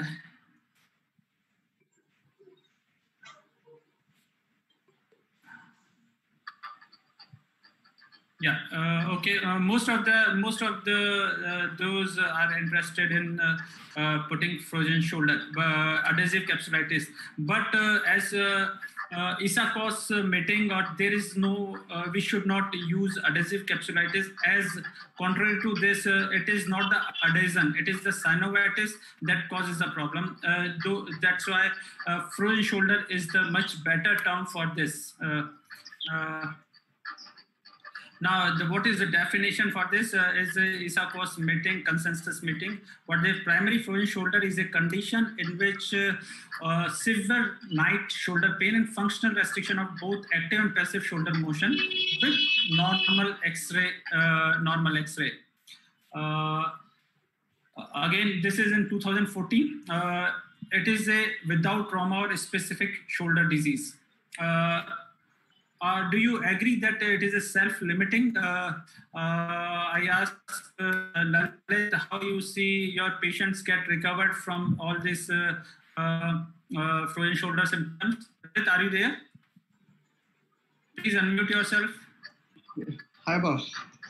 Uh, uh, Lalit, uh, how do you see your patients with the frozen shoulder uh, recovered at what uh, with uh, at what time? Uh, do you think it's still the some problem persists later on after three to four years? So first of all, uh, we have to identify that these are either uh, primary It frozen is, a, shoulder it is or a, we are discussing idiopathic primary frozen shoulder. idiopathic primary frozen. So uh, generally, it takes four to six months if the patient uh, do good physiotherapy to recover. Quick, quick, quick answer. Okay, five, five to six months, you say. Okay, fine. Uh, as what the literature says that uh, still after two to three years, patients have some restriction of rotation, and uh, even some studies says even uh, in spite of all these uh, seven years, still there is some uh, restriction of motion if we compare from the opposite side. Uh, now, But my question to yeah, mhm. uh, my question to next uh, uh, Dr. Mahindra, how you di- uh, decide your primary frozen shoulder if patient comes to you in OPD in first month of symptoms, how you decide it is a classical frozen shoulder, uh, not a not a tendinitis. How do you find out? How you decide? See, if the patient, comes, in OPD, some echo is there. My voice is coming. Uh, but echo, you you echo is there. You, you are, are you using headphones? Yeah. Uh, still echo is there. Okay, let let me talk to Dr. Deepak Joshi. Uh, how you decide, Now? Dr. Deepak?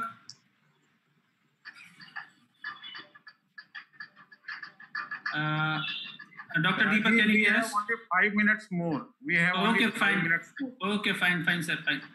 Uh, uh, uh, how you decide your uh, first symptoms of your frozen shoulder patients? How you decide? Patient comes to the OPD that uh, he she's having a pain and unable to do the normal activities like tying, like uh, combing hair, like so these are the normal activities. So first thing, whenever I examine the shoulder, I ask the patient to lift uh, his or her arms uh, forward and on the side, and we can really assess whether the. Uh, my question to Dr. Rajendra Setia: uh, If you a patient come to you with shoulder pain, more on the night pain, and the duration is only one month, and still there is a no gross uh, question of movement, how you decide this is a patient of frozen shoulder or it is a uh, supraspinatus tendinitis? Uh, hello. Yeah, yeah, I we Uh, can. Yeah. The frozen shoulder is there is a gross limitation of all global movements and external rotation is restricted to 20 degree. That is my patient of frozen, primary frozen shoulder.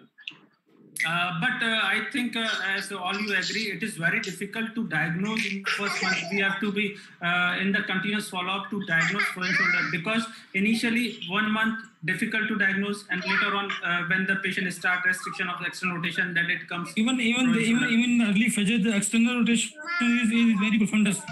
External restriction is uh, very much. Yeah. Uh, uh, what about the investigation? Ah, Dr. Ramakant.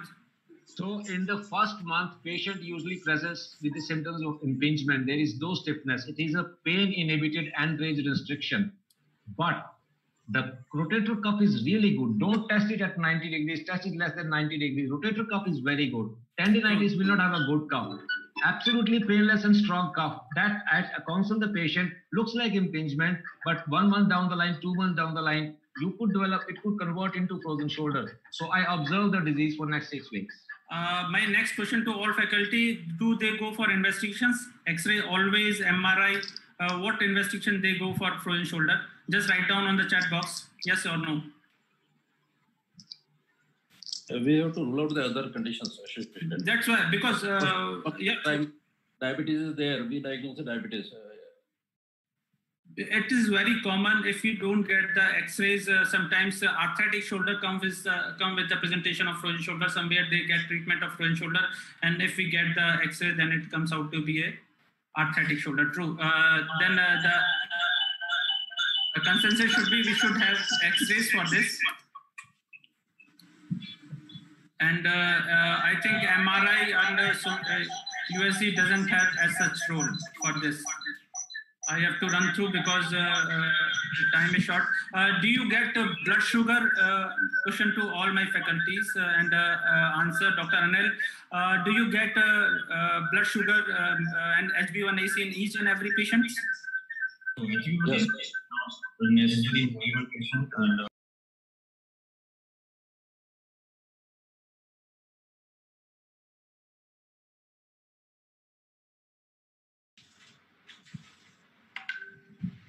So, good morning, everybody. So, welcome to this uh, trauma session of uh, Rosacon Midterm Conference, the online conference, first of its kind. So, first of all, I'd like to thank uh, Dr. Vivek Trikha and Dr. Sushrut Babulkar, Masters of AO Education, Chairman Sir Dr. Uh, Gopal Gupta and Dr. Beniwal from Suratgarh. Gopal Gupta is from Sawai Madhopur, the Tiger City, the young and dynamic Dr. Jayant and Naresh will be our faculty, and two young orthopedic surgeons from Ajmer and Sikar, Dr. Dhaka and Deepak will be presenting their cases, and I, Ashok Khandaka, will be moderating the session. So, welcome everybody, welcome all the participants, and let's start. Over to Dr. Sushil Babulkar for his talk on proximal knee fractures, tips and tricks to improve the ultimate outcome. Thank you. Thank you, Ashok sir. Can you uh, stop sharing your screen so I I'll can do that. Yeah.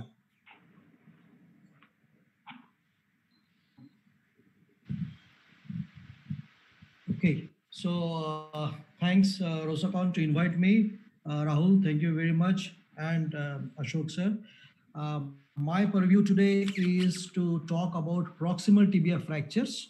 And why we need to do that is because we have seen in those 15 20% patients, urban population, we need to have a good platform for a maybe later on uh, good outcome of total knee replacement. And in our rural population, people who squat down or kneel down to have that terminal flexion. So we need to uh, give a good result for even a complex comminuted collapsed proximal tibia fractures.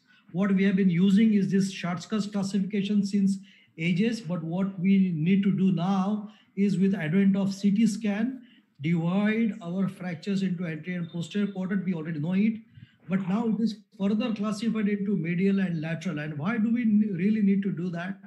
And look at this classification, which was proposed by Luo, which divides into uh, all the quadrants of proximal tibia fractures. So let's look at this, what we used to do. So this is a patient who was treated comminuted fracture with a lateral plate, hoping that this Birbal ki khichdi of putting a lateral plate to control the medial condylar fracture would work. That's four months down the line, patient presenting to us. And of course, we removed everything and put in a, a lateral as well as medial plate, which is a double plate for this fracture. Of course, patient came late. There was already articular uh, comminution and early setting up of arthritis, which you can see. But we could uh, erect and develop those columns medially, laterally. That's two months down the line, six months down the line, one year post-op, arthritis is setting in, two years, we remove implant removal, and that's the range of motion. Of course, early total knee replacement is inevitable in such a situation, in this situation, but at least we could, with double plating or with added uh, plates in the desired quadrant column, could avoid collapse. So a better uh, thinking of multi-columnar plating was set in. So only Birbal ki khichdi, which is this cantilever uh, principle, doesn't work in most of the comminuted proximal tibia fractures. We need to think of this kind of a post and lintel system wherein uh, we can support those comminuted columns. So we are talking of not a strut principle. Now, what is it strut principle? There was a uh, passing phase when we would put a lateral plate and put this oblique screw. This became very popular in proximal tibia. This became very popular in proximal humerus. Works in proximal humerus, less biomechanical forces traveling across. Doesn't work in proximal tibia where there is multiple comminution on the other side of the plate. So that one screw, it's impossible, will control those comminuted articular fragments and avoid collapse. So now we are thinking of putting multiple plates, additional plates based on the column that is involved. And that's where we feel that only one side plate is biomechanically not strong enough to control those comminuted fragments. We are thinking of additional plates, either a medial plate, which can be anteromedial or posteromedial. Let's look at anteromedial plate. That's a fractured proximal tibia. CT scan will demonstrate you where the comminution is. We have to wait for fracture blisters to uh, go by. The swelling to subside takes 10 to 14 days in some cases. What to do with fracture blisters is a topic by itself. But what we did here is a principal lateral plate and a temporary medial plate for that intact, huge medial condyle. Watch that plate. It's a flimsy plate, temporary plate. Remove it after some time, six weeks to two months, depending on when the radiological consolidation happens. Maintain the lateral plate and it will work in avoiding collapse. So that plate, medial plate, has acted as an internal fixator, and that's the clinical result. Posterior medial plate. If so, that's Luo, a friend. So, Shruti, one minute to go. Okay. So that's the uh, approach which we are looking at for posteromedial. That's the position. Example, CT scan, put the posterior medial plate first and then the lateral plate, and that's how it will look. Couple of other plates, coronal fracture, posterolateral, posteromedial, put posterior plates. Another quick example, posterolateral fracture, with a posteromedial fracture. Posterolateral fracture is a vertical compression fracture. What we do is do a posteromedial plating as such, and for the lateral vertically compressed fracture, do a rim plate fixation using a reconstruction plate which would fit like this. And the last example, comminuted proximal tibia with metaphyseal extension. CT scan will show you the extent of articular as well as metaphyseal extension. What you do is do a CT scan, study it, put a fixator across and put a double plate and here a longer lateral plate, a shorter medial plate and it will work till it heals. Both the plates have to be of varied lengths and it will progress to continue healing. Articular reconstruction is paramount importance. Make sure that you preserve the biology of metaphyseal comminuted fragments and it will give you a good result. Take home message, we have to understand the fracture pattern, respect soft tissue and plan why, when and how you will throw plate. Why? Because you have to add biomechanical strength. It has to be fracture dependent. When you have lots of combinations, you can see anterolateral is your primary plate and I'm done. Thank you, Dr. Babulkar, for a very nice explanation of the biomechanics of proximal tibial fractures. Dr. Dhaka, please start your case. Please. Dr. Babulkar, please stop your screen. Yeah, thank you.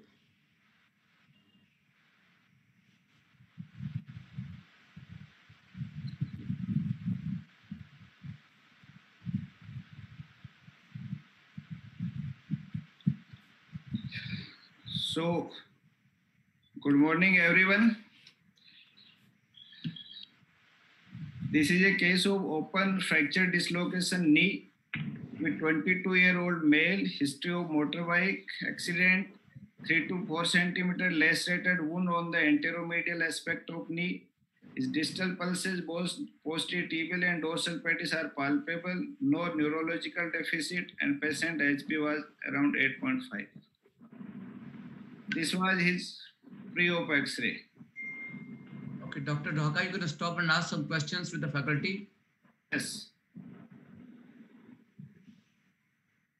So, uh, I think the most experienced person uh, amongst us is Dr. Trikha. So, I'll ask him uh, how to proceed, particularly for I mean, young orthopedic surgeons, So- if we get such a case. If you get such a case, this is a type of type 4 fracture dislocation of the humerus of the proximal tibia, not that typical one, but one of the type 4 ones. So here the most important thing which sir has already said is regarding the neurovascular deficit. You need to reduce it, put in a external traction, maybe a joint spanning fixator, and watch out for few days for the intimal tear and get an arteriography also done if it is within 24 to 48 hours. Many times this patient will come to you, but make sure that the vascular thing is intact for the next 24 to 48 hours because sometimes the intimal tear causes a clot later. That's the foremost thing. The only amputations I have seen in proximal tibia are in these sort of cases. Even if the pulses are palpable, do you need angiography? Uh, I, if not, I will at least wait for one or two days and then monitor them completely because I have seen that the intimal tears and the damages can have an occurrence of thrombus after 12 to 24 hours also. And how soon one put the external fixator? You reduce it and as fast as possible to maintain that. That's the first. thing. Okay, is it possible that the external fixator may increase the compartment pressures? Not exactly. They, uh, if you bring back the muscles to their tones and the normal length, the mus- compartment can be there. If the compartment is there, then you will release it anyway and anyhow. But to reduce the further damage, you will put in a fixator. Thank you. Anyone else to make some comments? Dr. Babulkar, Naresh? Yes, sir. Uh, as far as the neurovascular is concerned, rule out. If compartment is there, we should release it and simultaneously we can fix it. Since time is short, I'll ask Dr. Dhaka to proceed. I think uh, just because of wound, there was no compartment, and it, both pulses are very well palpable. And this case, uh, so the questions. This is the classification for fracture dislocation knee by. Dhaka, skip it, please. Okay. So the questions are how to proceed it.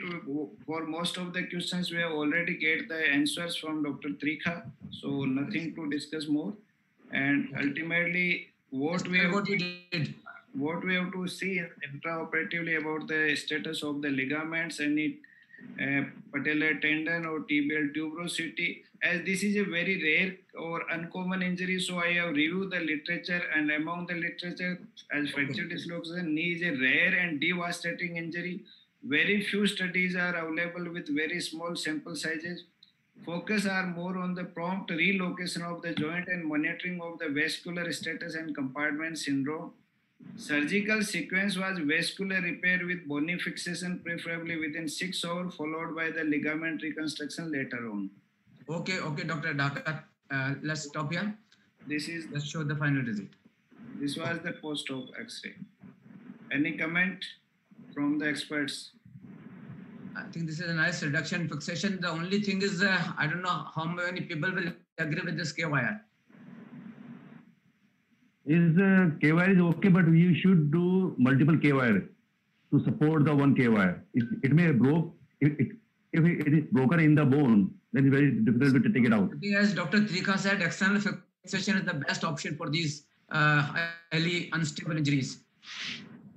Sir, this was 3 mm cover. I think there is very little chance of getting break.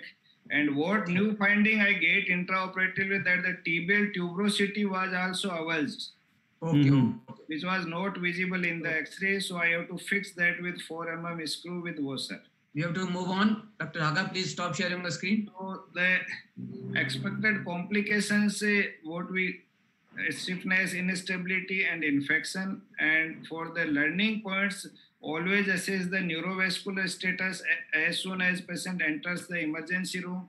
Close reduction should be done at the earliest. Reduction should be maintained in the POP slab at 30 to 40 degree, even if you eh, do in any emergency. Bony reconstruction should be prior to the ligamentous repair or reconstruction, and balance should be made between the stability and stiffness to get a stable and mobile joint. Thank you, Dr. Dhaka. Thank you very much. Dhaka, I think uh, the message from your case is probably the one thing that you should look at it is the message that you want to send out is that uh, instead of the K-wire, the external fixator is probably a safer option to do what you are doing. And uh, instead of again the plaster to be put. Can somebody else uh, start his presentation? There's some problem, eh? I'll solve it. Okay. So then I what I will request is that uh, Dr. Trikha, uh, why don't you uh, share your presentation? Dr. Vivek Trikha. To unmute, uh, I cannot share it right now. You cannot? Why? Share now, it, now it is possible because Yeah, yeah, somebody please. had to unshare it. So, okay, so I'll start with the distal tibial fractures and tips and tricks for the better results. And uh, I would like to say that they are complex injuries. Bone and soft tissues are involved, and there are high risk of complications which we need to take care of. The first thing is important in such cases is the timing is very important. We need to understand the mechanism, preferable to wait till the wrinkle sign and protect the soft tissues till then. Look at the pilon or the distal tibia intra-articular fractures. You might have an intra initial clinical picture like this, but if you just wait for 24 hours, you can have those swellings of the same patient coming up like this. And imagine if you had operated upon it right through here for an anterolateral approach and what would have been your results. If you ever have that unsuccessful or unfortunate chance to do that, these are the clinical pictures which you will face when you are operating early on a C3 distal tibial fractures. So my biggest humble request will be to wait for the skin and the soft tissues to improve and then only go in for surgery. What do we do till now is that you do a stage fixation, apply an external fixator if possible and utilize the time which you get to understand the fracture properly so that you can do the fixation in a better manner. If some people say why not? Why put an external fixator? The reason is this. If you wait for the soft tissues to improve it may take two weeks to three weeks but the ankle has already gone by that time and it is very very difficult to reduce this after two weeks until unless you had put in an external fixator here which would have distracted and made sure that the intra-articular components could be reduced when you get a chance so understand the fracture by CT scan and looking at the fracture patterns. These are the three fracture patterns given by Topliss, which you can see as a coronal fracture, a sagittal fracture, and a combined fracture. Get a CT scan after a fixator and look where you can put in the plates because the plates which we have are the medial plate and the anterolateral plate. Look at which is the fracture pattern, valgus or varus, and how the fibula has fractured in a compression or a tensile way. Remember, we put in the locking plates where the bio best biomechanical strength can be possible.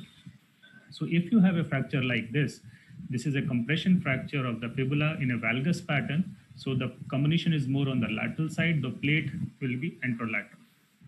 If this is a varus fashion tensile fracture of the fibula, your plate has to be on the medial side. So based on this, I will again say, look at the CT scan. If it is a fracture pattern like a sagittal one, the best thing will be to put in a plate here with the screws going perpendicular to the fracture, which will give you the best fixation. An example of this, you can see this is a varus type of an injury. The fibula is in tensile, varus displacements. Fracture pattern is more of the sagittal plane fracture. So what do you do? You do and take an anteromedial approach, put in a medial plate here, get the fixation with the best biomechanical strength, and get a good anatomical result with an anteromedial for varus injury. Now let's see if it is a coronal fracture. If it is a coronal fracture, we will look at this fracture pattern. The plate screws have to go perpendicular to the fracture, which will be an anterolateral plate. And that will give you the maximum fixation.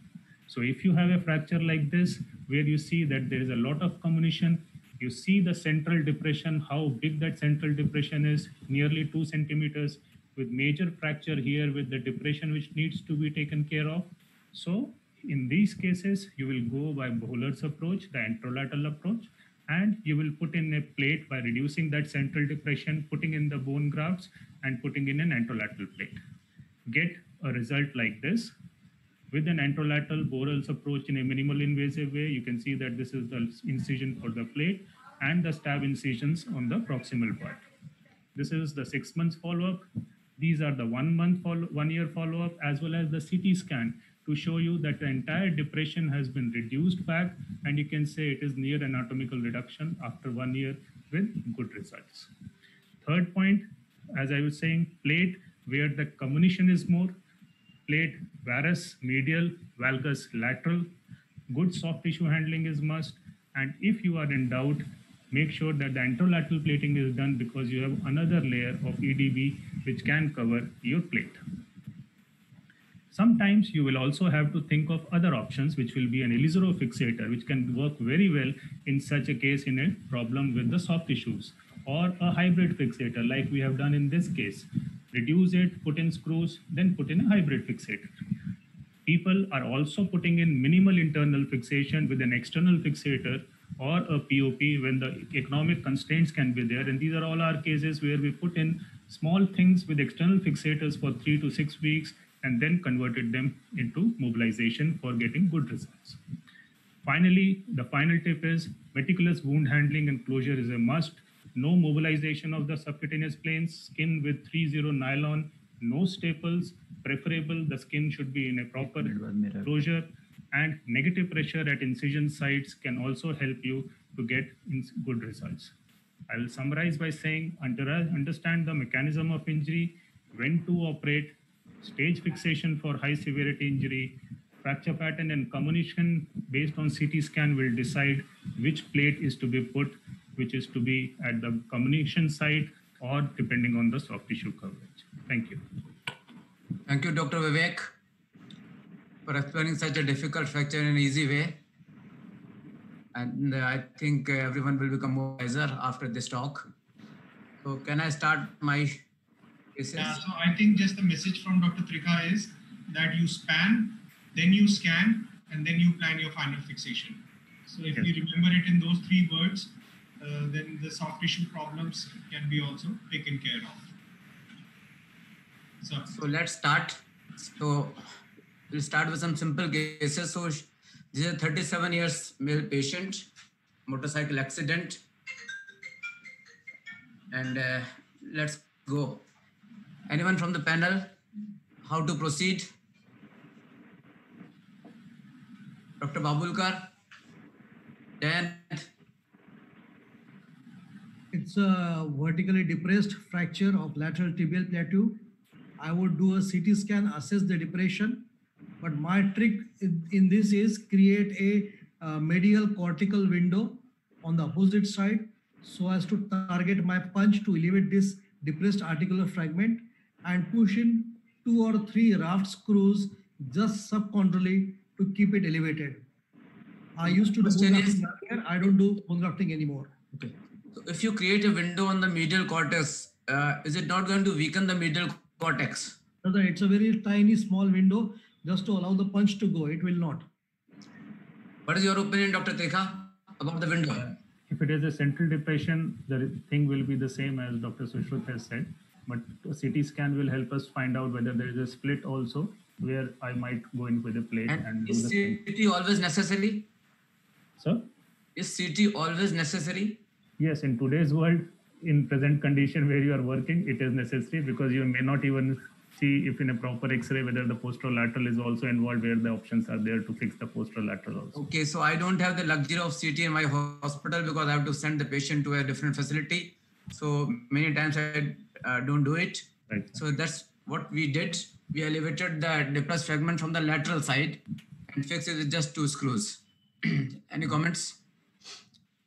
I would ask uh, Trikha sir and uh, Sushruth sir, uh, is the screws enough? Because a lot of times we see that it collapses. We don't uh, understand from the radiology that it will collapse or it will stay. So uh, if you're operating, is it better to put plate or uh, the screws are enough? So what I do is I usually do medial. Why I do medial is that uh, depression usually gets tilted medially. So when you put your punch from medial to lateral, that the fragment can be lifted up like that. Number one. Yeah. Two is just one modification is screw placement. I would put raft-like screws. So two or three screws so that I don't miss that elevated fragment. Here, if the fragment which is which was collapsed, if it is anterior to the vertical line of those screws, you have still missed probably that So lifted. the pre-op uh, X-ray shows that I think it was anterior. So okay, so I would put uh, those parallel to the subchondral collapse and subchondrally parallel to each other. Uh, let's Sir, move on. So Sir, sir, I was lucky, and that's the ultimate result after about four months. Yeah. Kanada sir, you can go to submeniscal approach. But that is more invasive. So I do just percutaneous screws after elevating the lateral uh, depressed fragment. How? How could you know that elevation is properly aligned with the Siam, rest of the Siam, cartilage? Siam, Siam. No, Siam is not a good. You can go submeniscal is a very easy approach. You just lift it meniscus and just see the intra-articular. Yes, I, I I know, but I, I don't do it very often. I do it rarely. I do it more percutaneous. Okay. Some, I some guys, also uh, some guys, medial window. Uh, it's really becomes easy to reach all the parts of lateral condyle if you're using a medial Okay, window. uh, let's move on. So that's another similar case.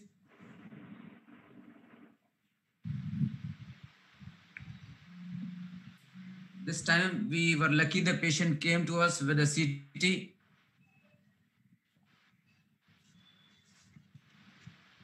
What next? He was carrying the CT with himself.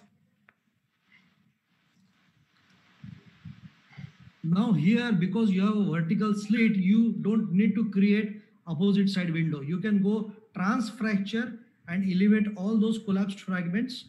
And here, because there is a vertical slit, you need to put a plate as well. So, Dr. Sushruth, the opening of the fracture is on the posterior side. it will still have some opening anteriorly. Yeah, there is a crack. Yes. So you go just lift that crack like a door and go through that and lift all those collapsed fragments up and put raft screws and a plate as Vivek rightly said. This is a fracture which CT has demonstrated needs an additional plate as well, which should be longer uh, than where the fracture stops. Dr. And Vivek, any more teaching points? Longer. what so Dr. Sushruth had said, or maybe if you want and you can see that the anterior part is totally, you can go posterior, do a posterolateral approach for this, lift it up and put in a plate, small plate, T plate out there. but you need to have two or three screws which are holding that slit fracture completely along. So we did the same thing. That's how we elevated the fragment from the lateral side and fixed it with just two screws. We use a broken screwdriver which the end is blunted. And that's about after four months. okay, let's move on. Little more difficult case, road traffic accident, 20 years, uh, 8 years, young male. So this is the injury. Again, we need to have a CT scan to see where that posterior uh, break is.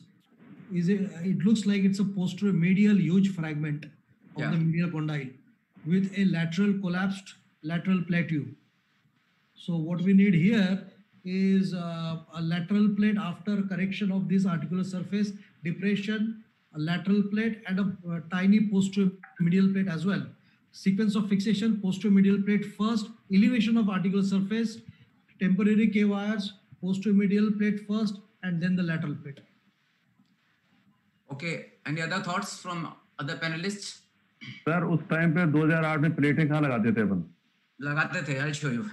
नहीं नहीं So, but- 2008 uh, so this was 2008. Uh, I didn't get the CT. हाँ We just reduced it first. This was post reduction. And we put a, uh, a plate, just a simple T plate on the medial side. So, any comments after this fixation? one comment is you are lucky enough to get a good result after putting these plates without supporting posterior medial part Yes, yes, uh, maybe maybe you're right. So, uh, I'm very afraid of using plates on the lateral side because of the soft tissue complications. I generally put on the medial side because I think the most of the weight bearing goes on the medial side. And I'm using very simple implants. and this you're not supporting the medial part or uh, posterior medial part luckily it, it is united well yeah luckily it is united well This was 2008, and this is after two years. yeah The articular surface is not very congruent, I know, but I think little bit is tolerable. What do you say, Dr. Vivek? Up to two or three millimeters, is it tolerable, uh, acceptable or not? Yes, uh, that is, if you look at the indications for arthroscopic reduction, also they are more than five millimeters of depression, then not lead to an arthroscopic. Yes. And what the literature says, the stability and alignment is more important than the exact uh, articular reconstruction. Is it so? Proximal tibia is the most forgiving of these. So that is true. In our uh, younger days, we were taught by our seniors that uh, proximal tibia is very forgiving. So, Okay. Uh, can we stop these cases or let's uh, have tibia case, distal tibia cases or can we do some more? Dr. N- I Uh, think we Jayan? move on to the distal. We move on to the distal tibia case first. Let's do the distal tibia cases. So I'll stop here and ask uh, Deepak to share his case. Yes, sir. So there is a question for you. When and how you allow weight bearing in these uh, proximal tibia cases? Actually, I allow partial weight bearing after a little bit of uh, radiological healing, it means anywhere between 6 to 12 weeks. it's very long span 6 to On 12 case weeks. to case basis. Dr. Trikha, uh, Yeah, it's the same. It's for any for all articular fractures. You reduce and re- decrease the weight bearing, toe touch weight bearing in the initial three to four weeks, con- converting into partial weight bearing and complete weight bearing after six, three months when the union has. You have seen that the union has occurred. Six to three months based on the fracture pattern, the age, as well as the compliance of the patient. yeah, uh, Deepak, you can start. Yeah, the screen is visible. Yes. Yes. Yeah, good afternoon, everybody. Uh, I'm presenting a case of distal tibia fibula fracture. The patient had diabetes and he was taken for the surgery next morning. The swelling increased. This is the pre-op X-ray. Uh, any plans uh, uh, after the X-ray? Trikha, sir? Here you just have to see two things. How is there any intra-articular fracture in which pattern? And if not, how much is the distal fragment length? So that if possible, if you want to put in a nail, can it the lower screws of all the three screws can suffice.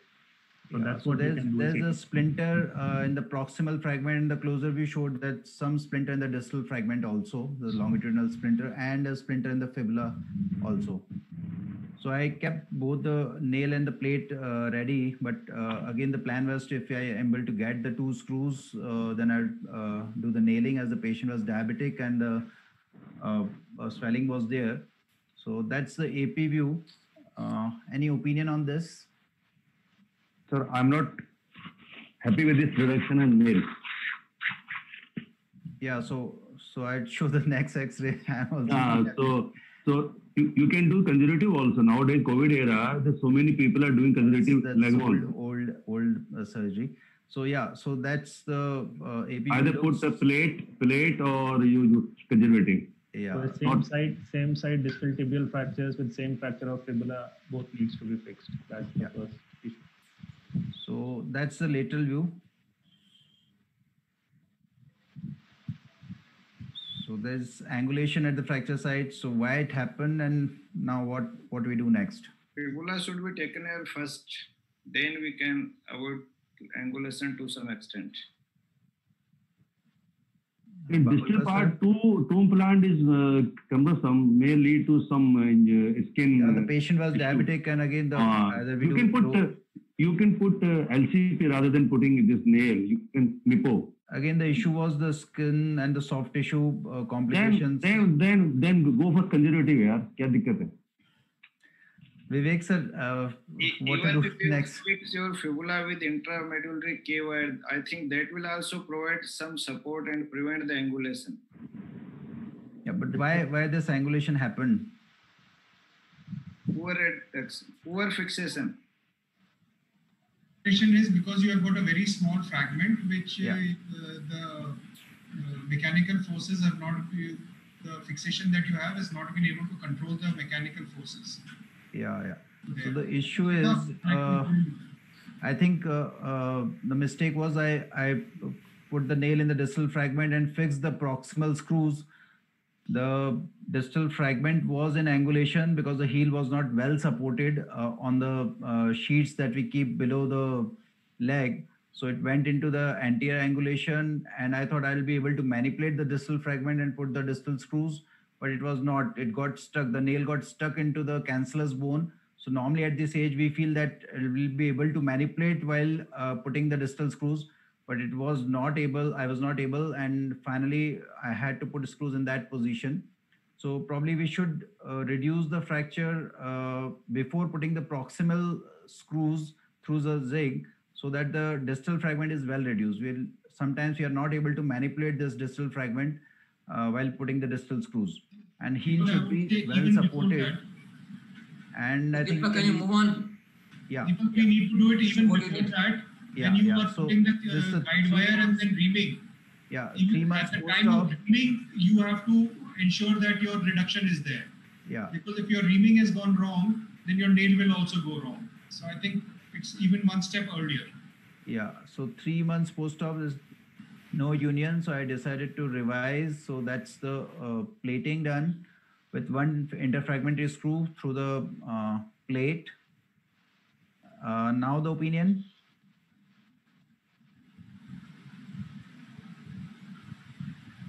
No, it seems to better. But weight bearing is must be uh, after three months. Yeah. So I feel that I should have put one more screw here because sometimes if you have a long fragment, it can get displaced. So though there is an interfragmentary screw, but uh, probably sometimes we keep a long uh, plate fragment to avoid breakage of implant, but it, it can get displaced occasionally. So this is another X-ray in which the Will center anybody plate. do a fibula plating at this stage? No, no, no. Again, the issue is closure. If, if you put two plates, it's difficult to close. So this is another case with similar pattern. I did plating day one, everything looks okay, but three months post op, the fracture got displaced. So the four screws up, five screws down, still the fracture shifted because it was a short oblique fracture. So I had to uh, open it again uh, after a few months, and then there's a mobility at the fracture side. So I had to reduce it, do bone grafting, and fix it interfragmentary screw and one screw above and one screw below close to fracture side to stabilize it. So sometimes the principle that we follow that the uh, proximal four screws and proximal uh, and distal four five screws will stabilize the fracture may not work and it can get displaced. So probably we should. Deepak, there are two issues here as I see it. Uh, first is that uh, you have to shed your reluctance for not fixing the fibula. So Yeah. please shed your reluctance for not fixing the fibula. Once you Yeah. fix the fibula, things will become easier. Yeah. The other thing is that uh, the principle that you're talking of four proximal and four distal screws, that is for your dynamic compression plates. But when you're using the locking compression plates, don't put four screws in these four adjacent holes. Uh, holes. Space them out in a bit uh, bit more space so that you have a longer uh, area that you have spanned. So that way, all these issues will. So put uh, the proximal screws in alternate holes.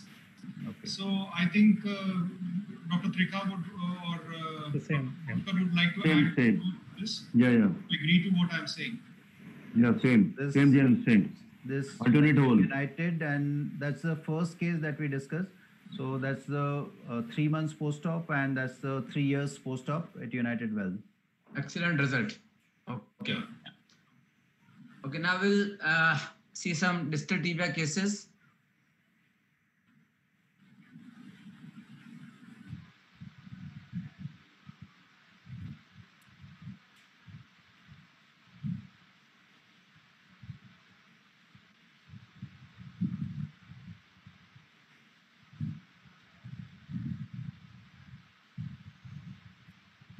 So here we go. 27 years old male slipped from stairs, June 2019. CT scan, Yes. First reduction, traction, first reduction, yes. and That's splinting two. for that. No scan before reduction. So here you need a fibula plating and fixation of tibia. So first we reduced it. So this was post reduction.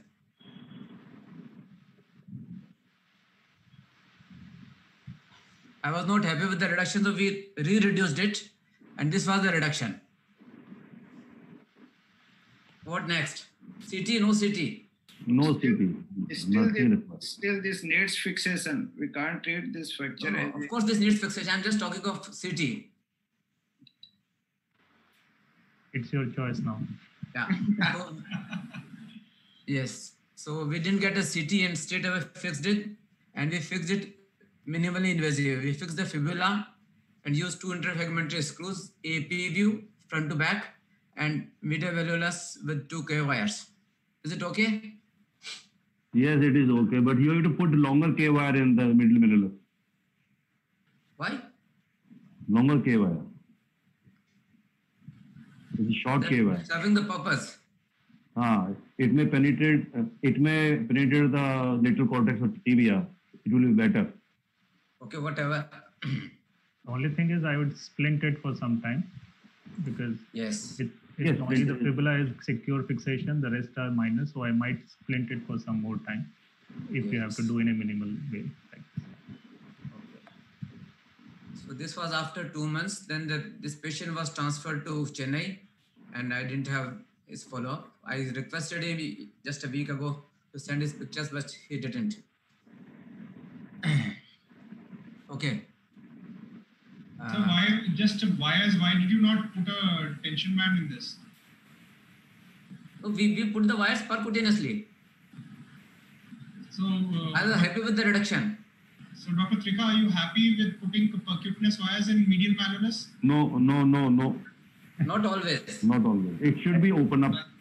we normally put in screws for that if we have to put not do a tension band depending upon he's a young patient around 27 or 26 So that's the thing you which is a periosteum issue. Periosteum usually Yes, yeah so you require compression out there and remove the periosteum Yeah. that's true. Why So you make here's another patient, 53 years male, uh, March 17, traffic accident. I don't have his plain uh, radiographs, so he, that's the CT.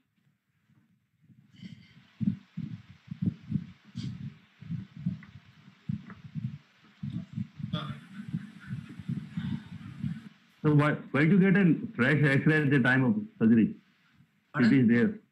why why didn't you get a fresh X-ray once you get a CT? No, no, I had the access. I was not Okay, able okay, to at them. lost. Oh, okay, okay, okay. Okay, okay, let's move on. So that's how we fixed it.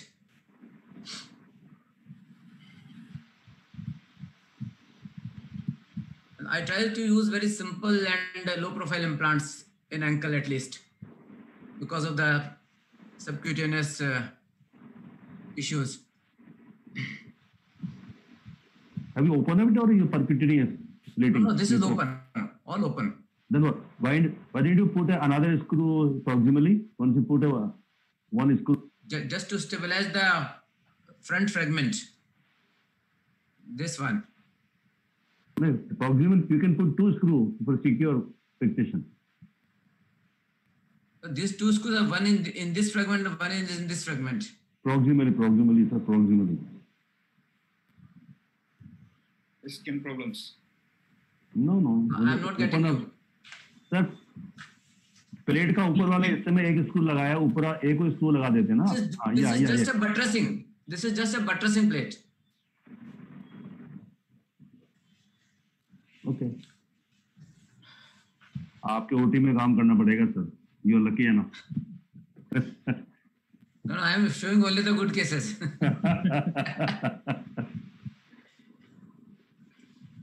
and one one question sir result. Have you removed the screw syndesmosis screw before walking No, I have not removed. wow great Is it okay? Sir आपके यहाँ सब कुछ okay है sir No, no. Do we have some questions from the audience or can we have some more cases? Yeah, we have about two more minutes to go, so we can have one more case. Okay.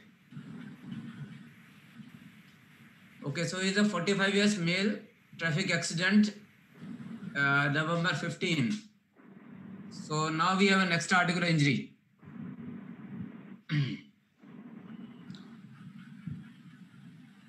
so this uh, patient came to me from somewhere else. So that is his initial X-ray, and uh, this reduction was. Uh, she had a wound on the fibula. I have the post-healing uh, picture, not at the time of fresh injury.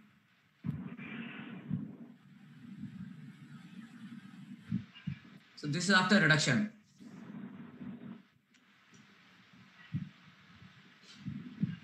I would have gone two plating, fibula plating as well as the MIPO on the tibia side. Okay, but this uh, uh, wound on the fibula is after everything has healed. I don't have his initial picture, but he had a, when he came to me, So, he had so a wound Good, at the fracture site. no problem. Good so I didn't do any plating for the fibula. I just plated the tibia. So that is uh, November, that is May, and that is July 20, just uh, four days ago. I called him and uh, did his fresh x-rays.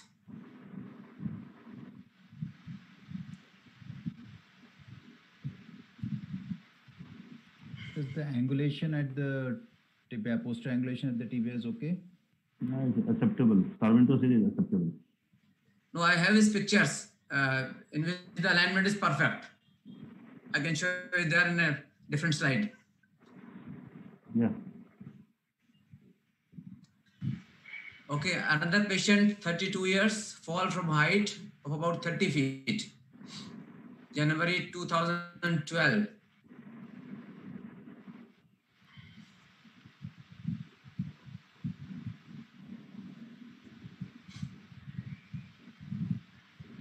If skin condition is not good, put a calcaneum pin, put a traction, and put a cast. It's conservative method. No, I don't remember about the skin condition, but we didn't do, uh, do any kind of traction and did uh, plating. So I think uh, your uh, fixations are really very minimally invasive, and uh, the, probably the implant needs to have more strength and stability. We are uh, getting away with it, but uh, probably another screw at least minimum is required. No, if your screws are holding well, at least two or three in the proximal fragment and two or three in the distal fragment, they work very well. Number two is, uh, I personally feel is slightly less. I think Dr. Trikha or Dr. Babhulkar might be have- able to comment on it. Of Dr. course, Babhulkar, what do you say? What ends well is great, but uh, Three on either side is better. Agreed. yeah. I think so. So that is his final result.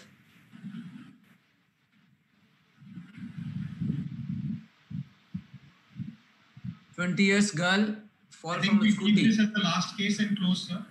Okay, Yeah. we'll do it quickly. So that is his injury film. That is post reduction. These X-rays are from a different uh, facility at, at a public hospital. This was not done by me initially. So this was done a day after injury.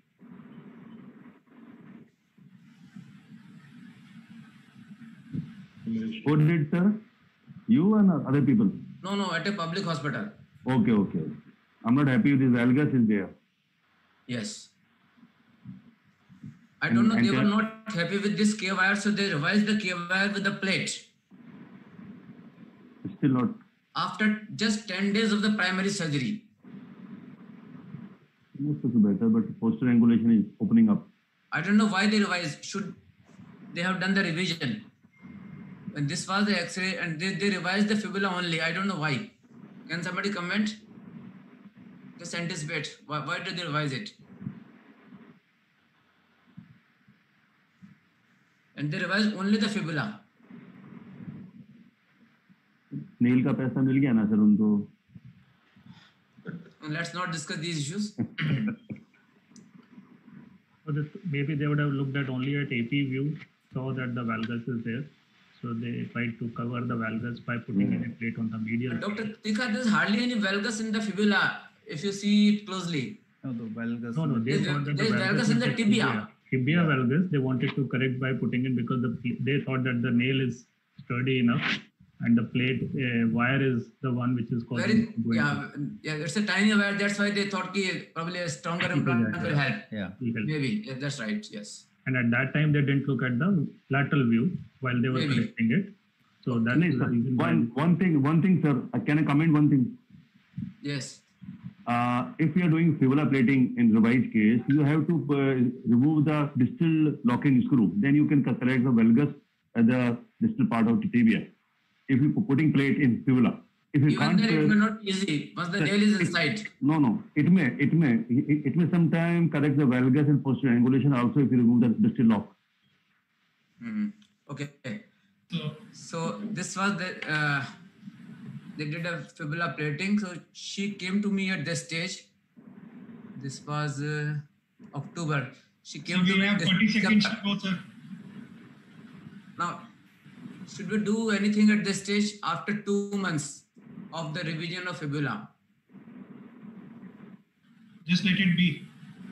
There is some callus on the lateral side. Exactly. So we uh, waited, and uh, she healed nicely with good alignment, and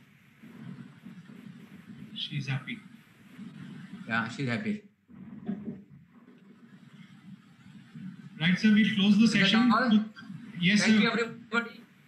Particularly Dr. Trikha and Babhulkar for sparing their time on a Sunday morning. Thank you very much. Thank you, You're sir. obliged. Thank you, sir. Thank you, everyone, for being here. And Thank you, Deepak. Thank you, Dr. Dhaka and Chairman Sir, Dr. Thank you. Gopal and Beniwal. Thank you. Thank you. Thanks, everybody. We can continue on the web next. We can continue on the Webex as we end this session. We can follow the rest of the conference on Webex. Yes, Thank you, everyone. Bye. Bye bye, everybody. Thank you, sir. Thank you. Bye bye. Thank you. Thank you, very